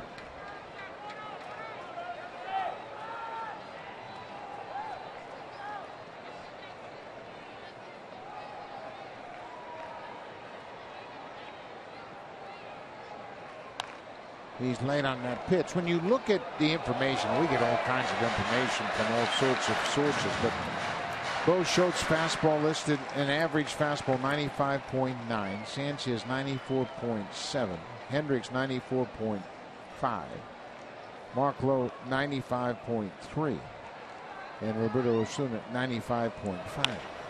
That's how you close down offenses. Another good scoop by Colabello. He's having some night over at first. He has worked hard with Luis Rivera, and they have hit him a lot of balls off the fungo bat to replicate that low throw, and he's done a terrific job defensively at first tonight. You see coaches go to the middle of the infield during batting practice, and the screen will be up at first, but simulating a throw just like this from Pennington, they'll hit a fungo bat, and it might be a one or two hopper, but that's exactly what they're doing simulating that pick. And it was a nice job by Colabello. You want to go towards the baseball. A lot of times you'll see guys back up. You don't want to do that. Go out and get that short hop, make it as short as possible. This should do it. Popped up behind home. Navarro, the catcher, waits in foul ground. That's the ball game. Good inning for Bo Schultz. He comes in and retires the side in order very quickly, and the Blue Jays win a lopsided affair, and they will win the series against the Angels. And that's good news for the Blue Jays. Have not won a series here in an awful long time. Josh Donaldson led the way again, 100 RBIs on the season. He leads all of Major League Baseball. A nice effort by Marco Estrada, pitching with a big lead tonight. It was easy pickings. Well, the Yankees won earlier this afternoon, but the Blue Jays keep pace. They're a half game behind New York in the East. And they'll try to sweep the series here in Anaheim tomorrow. They'll send the knuckleballer R.A. Dickey to the mound. They'll be opposed by Garrett Richards. The Blue Jays bats have really come alive tonight. 15 runs on 20 hits. They've homered in 13 straight games on the road. We'll see you tomorrow afternoon. Stay tuned. Here's Sportsnet Central.